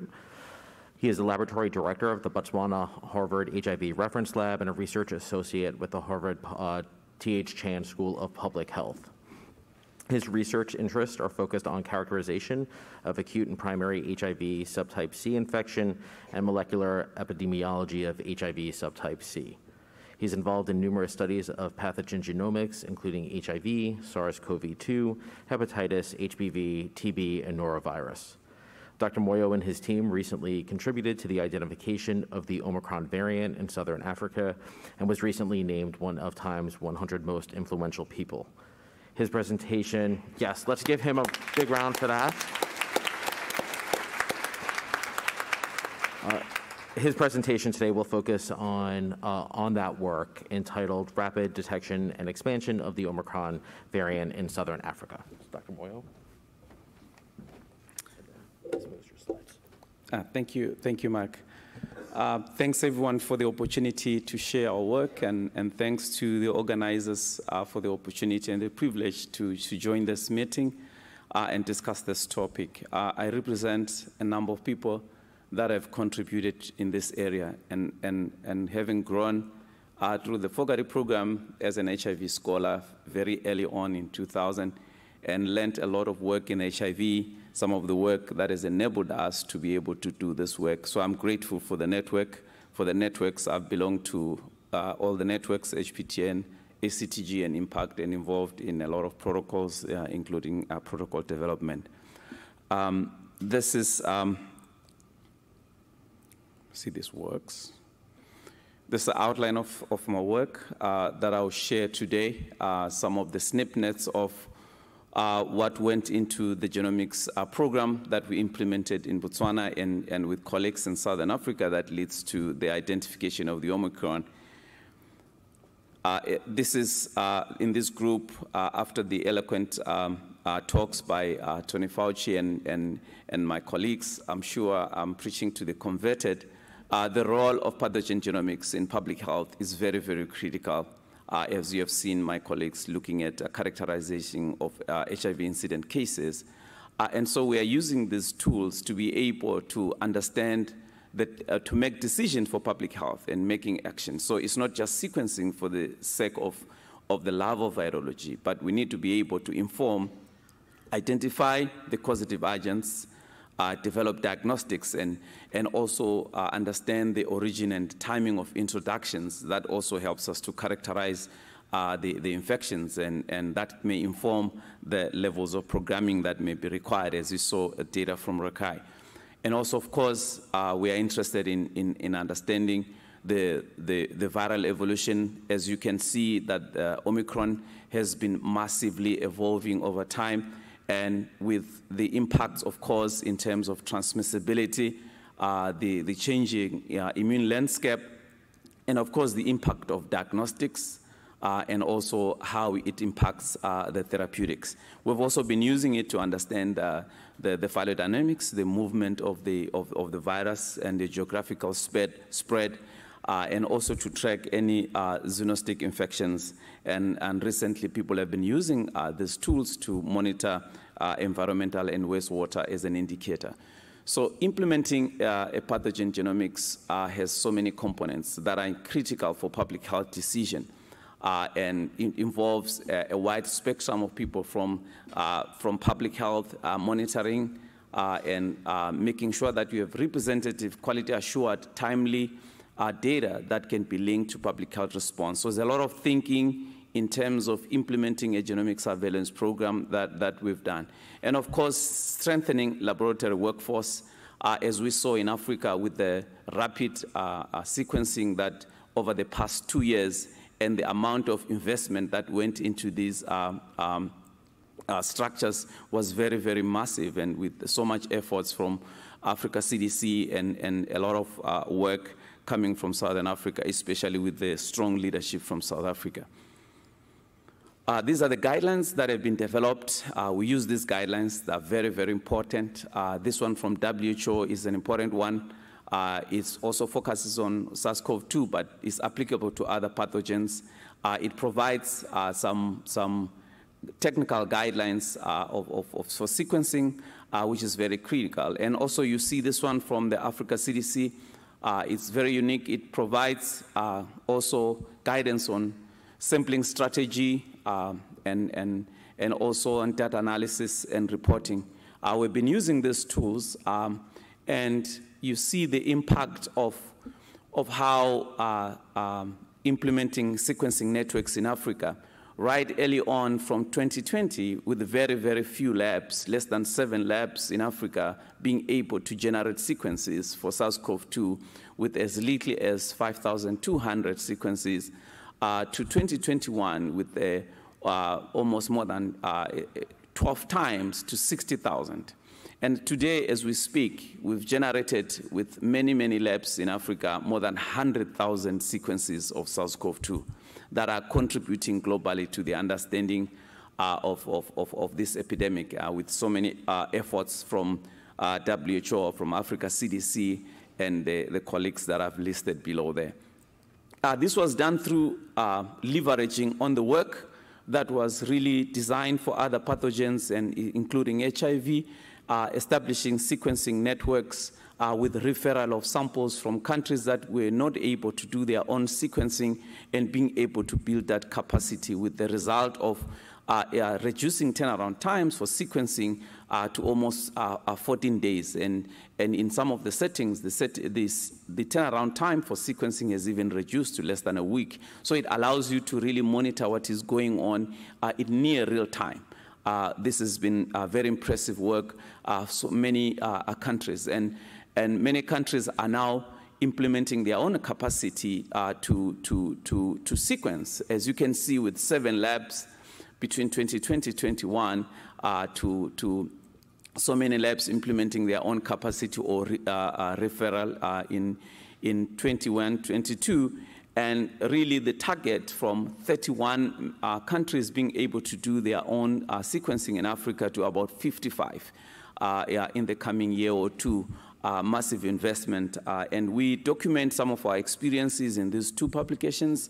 Uh, you can read out uh, how we have scaled up and the lessons we have learned uh, that are going to help us even in other uh, uh, uh pathogens.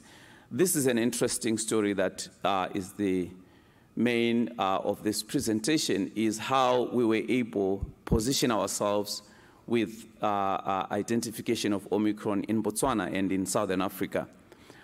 in Botswana, we implemented a pathogen sequencing platform that targeted the entire country network using the network that was built for HIV in terms of referral of specimens.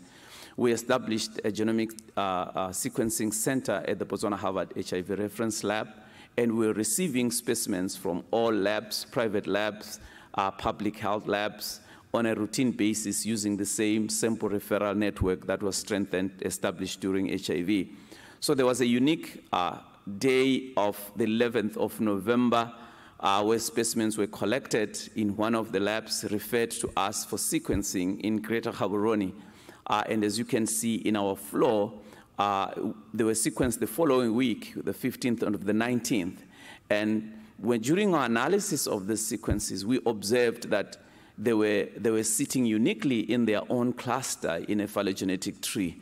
So one of the things that we are doing on a daily basis is to observe the patterns, uh, to analyze the patterns of the sequences as they come out. As we analyze them, we are looking for many questions. Uh, is there any introduction? Is there anything different? Are there new mutations that we're observing? We look at specific genomic regions, and of course, uh, we, we collaborate uh, by comparing these sequences with other sequences in the network. So these four sequences were very, very unique. Out of the 99 sequences that we generated that particular week, these four were very, very unique. They were sitting in their own cluster, and we went back to the lab. You know, uh, in, in viral phylogenetics, we want to confirm that there are no artifacts of sequencing error. So we're able to identify that, no, this, these were very unique patterns, and we immediately informed our, our Department of Health. And I still keep that email, and we wrote an unusual lineage. So we, we, when we said an unusual lineage, we needed help to access this network.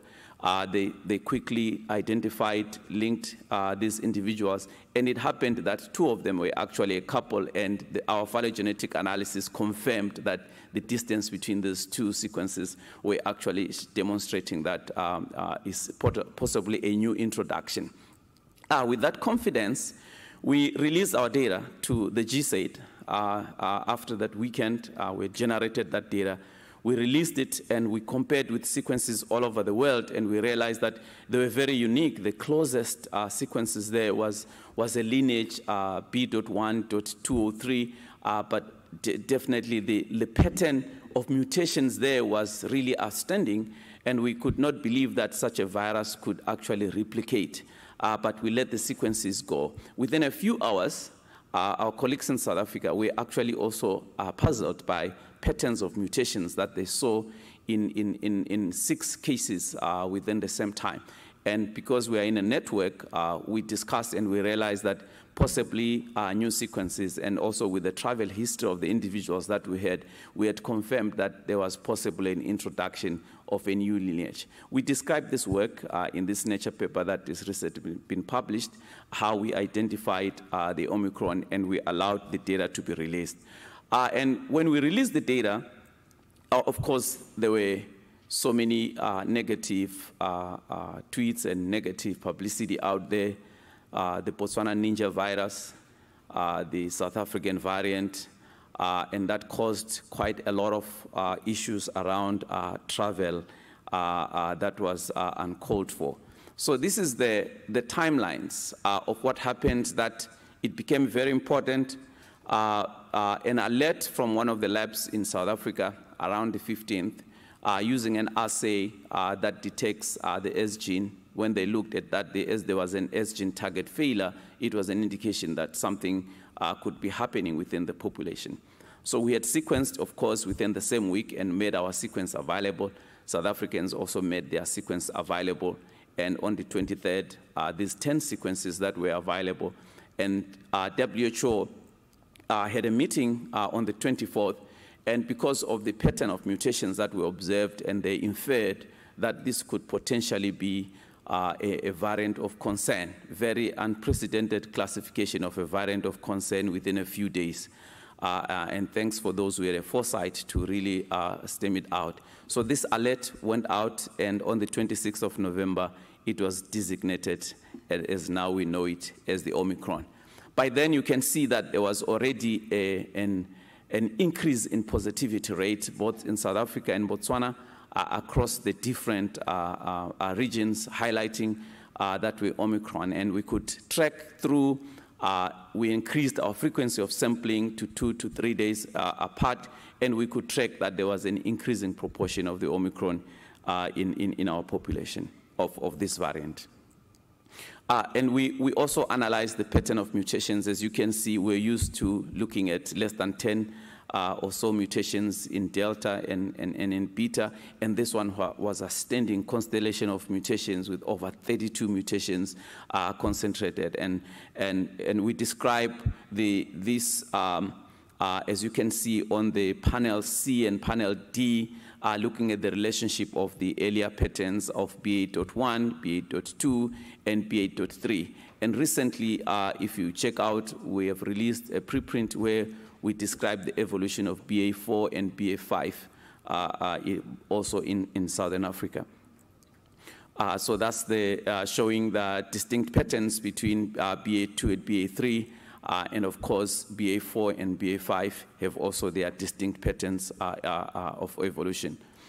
this is the just to show the the rapid emergence of the Omicron uh, from that phylogenetic tree and also the phylogeography showing a rapid movement of the virus within um, uh, Botswana and South Africa. Uh, this is the data from Botswana. Uh, initially, uh, you can see uh, in April, dominated by mostly Delta and a rapid replacement of, of, of, of, um, of Beta by Delta, followed by the BA.1, BA.2, and now BA.4 and 5 are making uh, over 80% of the current uh, sequences that we are generating uh, as we're analyzing some this morning. Uh, and you can see that uh, we are beginning to have an increase in cases and mostly are driven by BA4, BA5. We are lagging behind South Africa by two to three weeks. Uh, so South Africa is, is beginning to tail off. Uh, and we, it's likely that also in the next two to three weeks we may tail off, but our positivity rate has really uh, gone up from below 5% in two, three weeks ago. Uh, now we are sitting at about 13 to 15% uh, positivity rate. Uh, and this is, uh, demonstrates um, the, the growth advantage of, of, um, of BA4.5 and BA5 over BA2. And it's likely that uh, this may relate to a pattern of immune evasion uh, rather than in, in intrinsic increased transmissibility, uh, as we saw that if, if there was a, an exposure of BA.1 in the population, um, you see that uh, there was an advantage in terms of the immune landscape when BA.2 came in. In populations where there was no BA.1 and BA.2 and just an introduction of BA.4, there might be a different trajectory of, of, of, of infections. And you can see that BA.4 and BA.5, uh, we have also demonstrated that they are having um, a, a, a, growth advantage. Uh, uh, this is the pattern of mutations, as you can see. Uh, uh, that we are seeing now, and li most likely because of waning of immunity against HIV, against uh, um, um, uh, earlier on infection, we can see that with this risk of, of, of, of resurgence uh, of these um, uh, infections. this is, of course, BA.4 and BA.5 are genetically distinct. there's almost a debate about the origin of these lineages, but if you look at the time to the most common reasons ancestor, you can see that it points out that probably around mid-November and probably uh, uh, did not evolve that much until, until uh, uh, uh, a month or two ago. So it's almost dating to show that it might have emerged at the same time with the original Omicron. Uh, and, and, and BA.4 may, may, may, may also show uh, some more patterns of evolution. There, there, are different mutations, as you can see, that are very important, and I'm hoping uh, time is out, but I'll highlight a few of these mutations. So BA.4 and BA.5, they share a similar spike profile, except that BA.2 uh, has um, there's a, there, are additional mutations in BA.4 and BA.5. There's a deletion in position uh, 6970 of the spike. And we know this mutation L452 uh, from, from, from Delta, and then a new mutation uh, 486V. Uh, and, and the reversion to wild type in position 493.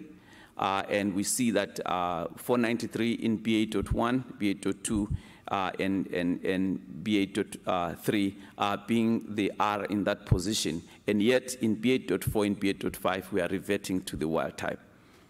Uh, that, is that, is that is very, very important. I'll skip the slide. And of course, we see that uh, BA.4 and BA.5 uh, has an impact on, on, on neutralizing antibody escape. Uh, as you can see, the total escape uh, at site 486 uh, is associated with uh, escape from class 1 and class 2 neutralizing antibodies. and L452 is associated with escape from broad class 1 and class 3 neutralizing antibodies. Uh, so we know that L452 was present in Delta and Kappa and Epsilon variants, uh, and we can see how it may be uh, increasing uh, virus replication in, in BA.4 and BA.5, uh, and also we can see that um, some of the lineages uh, that are, um, are, circulating around the world, L452R as in BA.2.12. just in conclusion, this work was important, but it made us reflect a lot as scientists in terms of how uh, the, the, the, travel bans, we see uh, this article uh, uh sharing the scientists that shared Omicron data uh, should not be punished and let us re uh, reject for it. And the cartoon there, how it was very strange that for the first time you're worried about your safety because of some of the, the calls and and, and how the disruptions, the, the, the, the economic uh, meltdowns that led to uh, because of the, the discovery of Omicron. Uh, and it was very interesting to see the presidents come up uh, to the lab and immediately after that followed by uh, a press conference with the CNN and really standing behind us and giving us confidence that we should continue being transparently releasing our data. Because as you know, some people don't release their data into GSAID or public databases because uh, the, of some of the consequences that uh, may be related to that. And so that was important, and we, we, we, are, we are humbled by the recognition, both uh, the Time 100, uh, the Martin Luther King uh, uh, Humanitarian Awards, and Professor Tullio named as Nature's top 10 scientist. and that has been humbling despite uh, the reactions that we, we experience. So in conclusion, uh, establishing a systematic pathogen genomics and surveillance was critical in the identification of the variants. So having a systematic uh, surveillance system has helped us. Uh, that is routine, that is able to monitor what is happening, and a coordinated approach both in South Africa and Botswana, where all labs are networked to identify these variants is very, very important. A haphazard approach will not help in identifying early on uh, variants of concern. Uh, and we see that uh, Omicron is now accounting uh, for the majority of the infections globally. It was shown there. Uh, and we see that there's a complex mix of immunity in Southern Africa right now, acquired from uh, wild type uh, at, from beta, delta, and Omicron, and of course of the vaccine. So this may shape what we may see coming on. I just want to acknowledge the team that I work with. I'm privileged to work with a lot of talented young people that have grown through the HIV networks and now are contributing uh, to generating data and contributing to the world.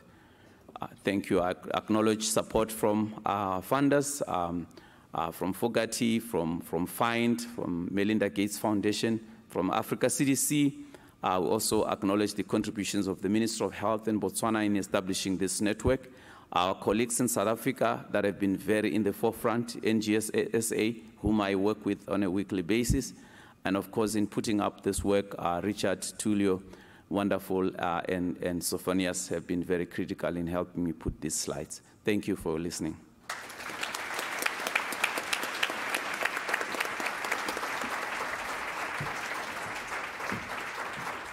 Great. Thank you, Dr. Morio, for that um, riveting presentation. It looks like we have time for maybe one question, and we do have someone that would like to ask a question, so we'll turn it over to you. So this is a plea.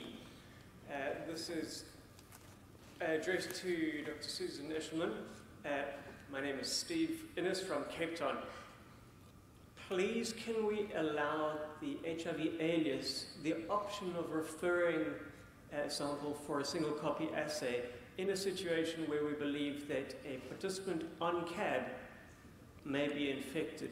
We having, I noticed your data showed extremely long delays in us starting ARVs because of the extremely long delays in being certain of a diagnosis. We have the option, we know that it would have been picked up earlier had we used that option. Please can we ha have that option be made available to the HIV alias so that uh, we can resolve these cases without waiting six to nine months so, before we start. I, I think, so thank you very much. It's a very important point. I think in almost all of these cases, use of a routinely available, commercially available, highly sensitive RNA assay with a, like we're doing in the OLE components of the study, most of these have limit of detection of 20 or 40, will detect the overwhelming majority of these cases.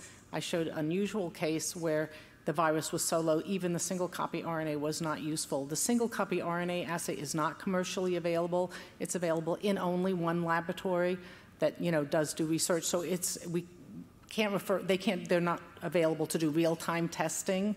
Um, the testing is retrospective. It takes quite a while to receive the results. So I don't think that's an option. Moreover, as we move into the implementation studies, which for 083 will transition this summer, we'll no longer be sending samples back to the lab center for testing, even the DNA assay, which you know, we'll be coming out with some information about whether that was or wasn't really how, how, how informative that was. But I think the, um, the, the best we can do for the participants in these studies is what we're doing as soon as we went into the original OLE transition, which is to perform RNA testing at every visit using an assay with a limit of detection at least 60 or lower. And um, we're hoping that um, that will be, uh, will that should detect the majority of these cases early enough to avert resistance. The real question will be, and we don't have the data yet, we're just beginning to see those data, is how useful this RNA screening is. It's a massive effort and cost to do this type of RNA testing at every visit. It's not feasible or affordable in many, many settings that urgently need interventions like CAB-LA. Moreover, um, uh, you um, run the risk that you'll get false positive results at very low levels, and you may take someone off CAB-LA who's not infected and who needs it for protection, you know, and put them at risk. So um, I think we're, we're trying to um, understand the recommendations, obviously, from the, from the company based on the data we provided to do this type of testing, but we know it will not be done in all settings, and we don't know yet the, the cost benefit of even doing RNA testing with commercially available tests. So uh, I hope that helps to answer the question. Those are questions we hope to sort out in the next few months. Even, you know, using the Olay testing with sensitive assays, um, are we detecting more false positive cases? How many true cases are we detecting early, and would that have averted problems like resistance? No, we thank you. We thank you for that that question, and I think that again, it just highlights that it's an, an evolving landscape and evolving conversation. Um, given you know the fact that we are a bit over, and I do have our uh, our co-PI standing on my shoulder. I want to thank uh, all of our presenters today for really just highlighting the cutting edge and impactful research um, that is done and contributed by um, laboratory teams across the spectrum of infectious disease. So let's give them another hand. And I will turn it over to Dr. Cohen. Thanks. Uh, thanks, everyone. Lunch is outside. Then the afternoon sessions will begin at 2 o'clock uh, or when appropriate to what you need. And we'll see you then in this room again tomorrow morning at the appropriate time. So thank you all for today.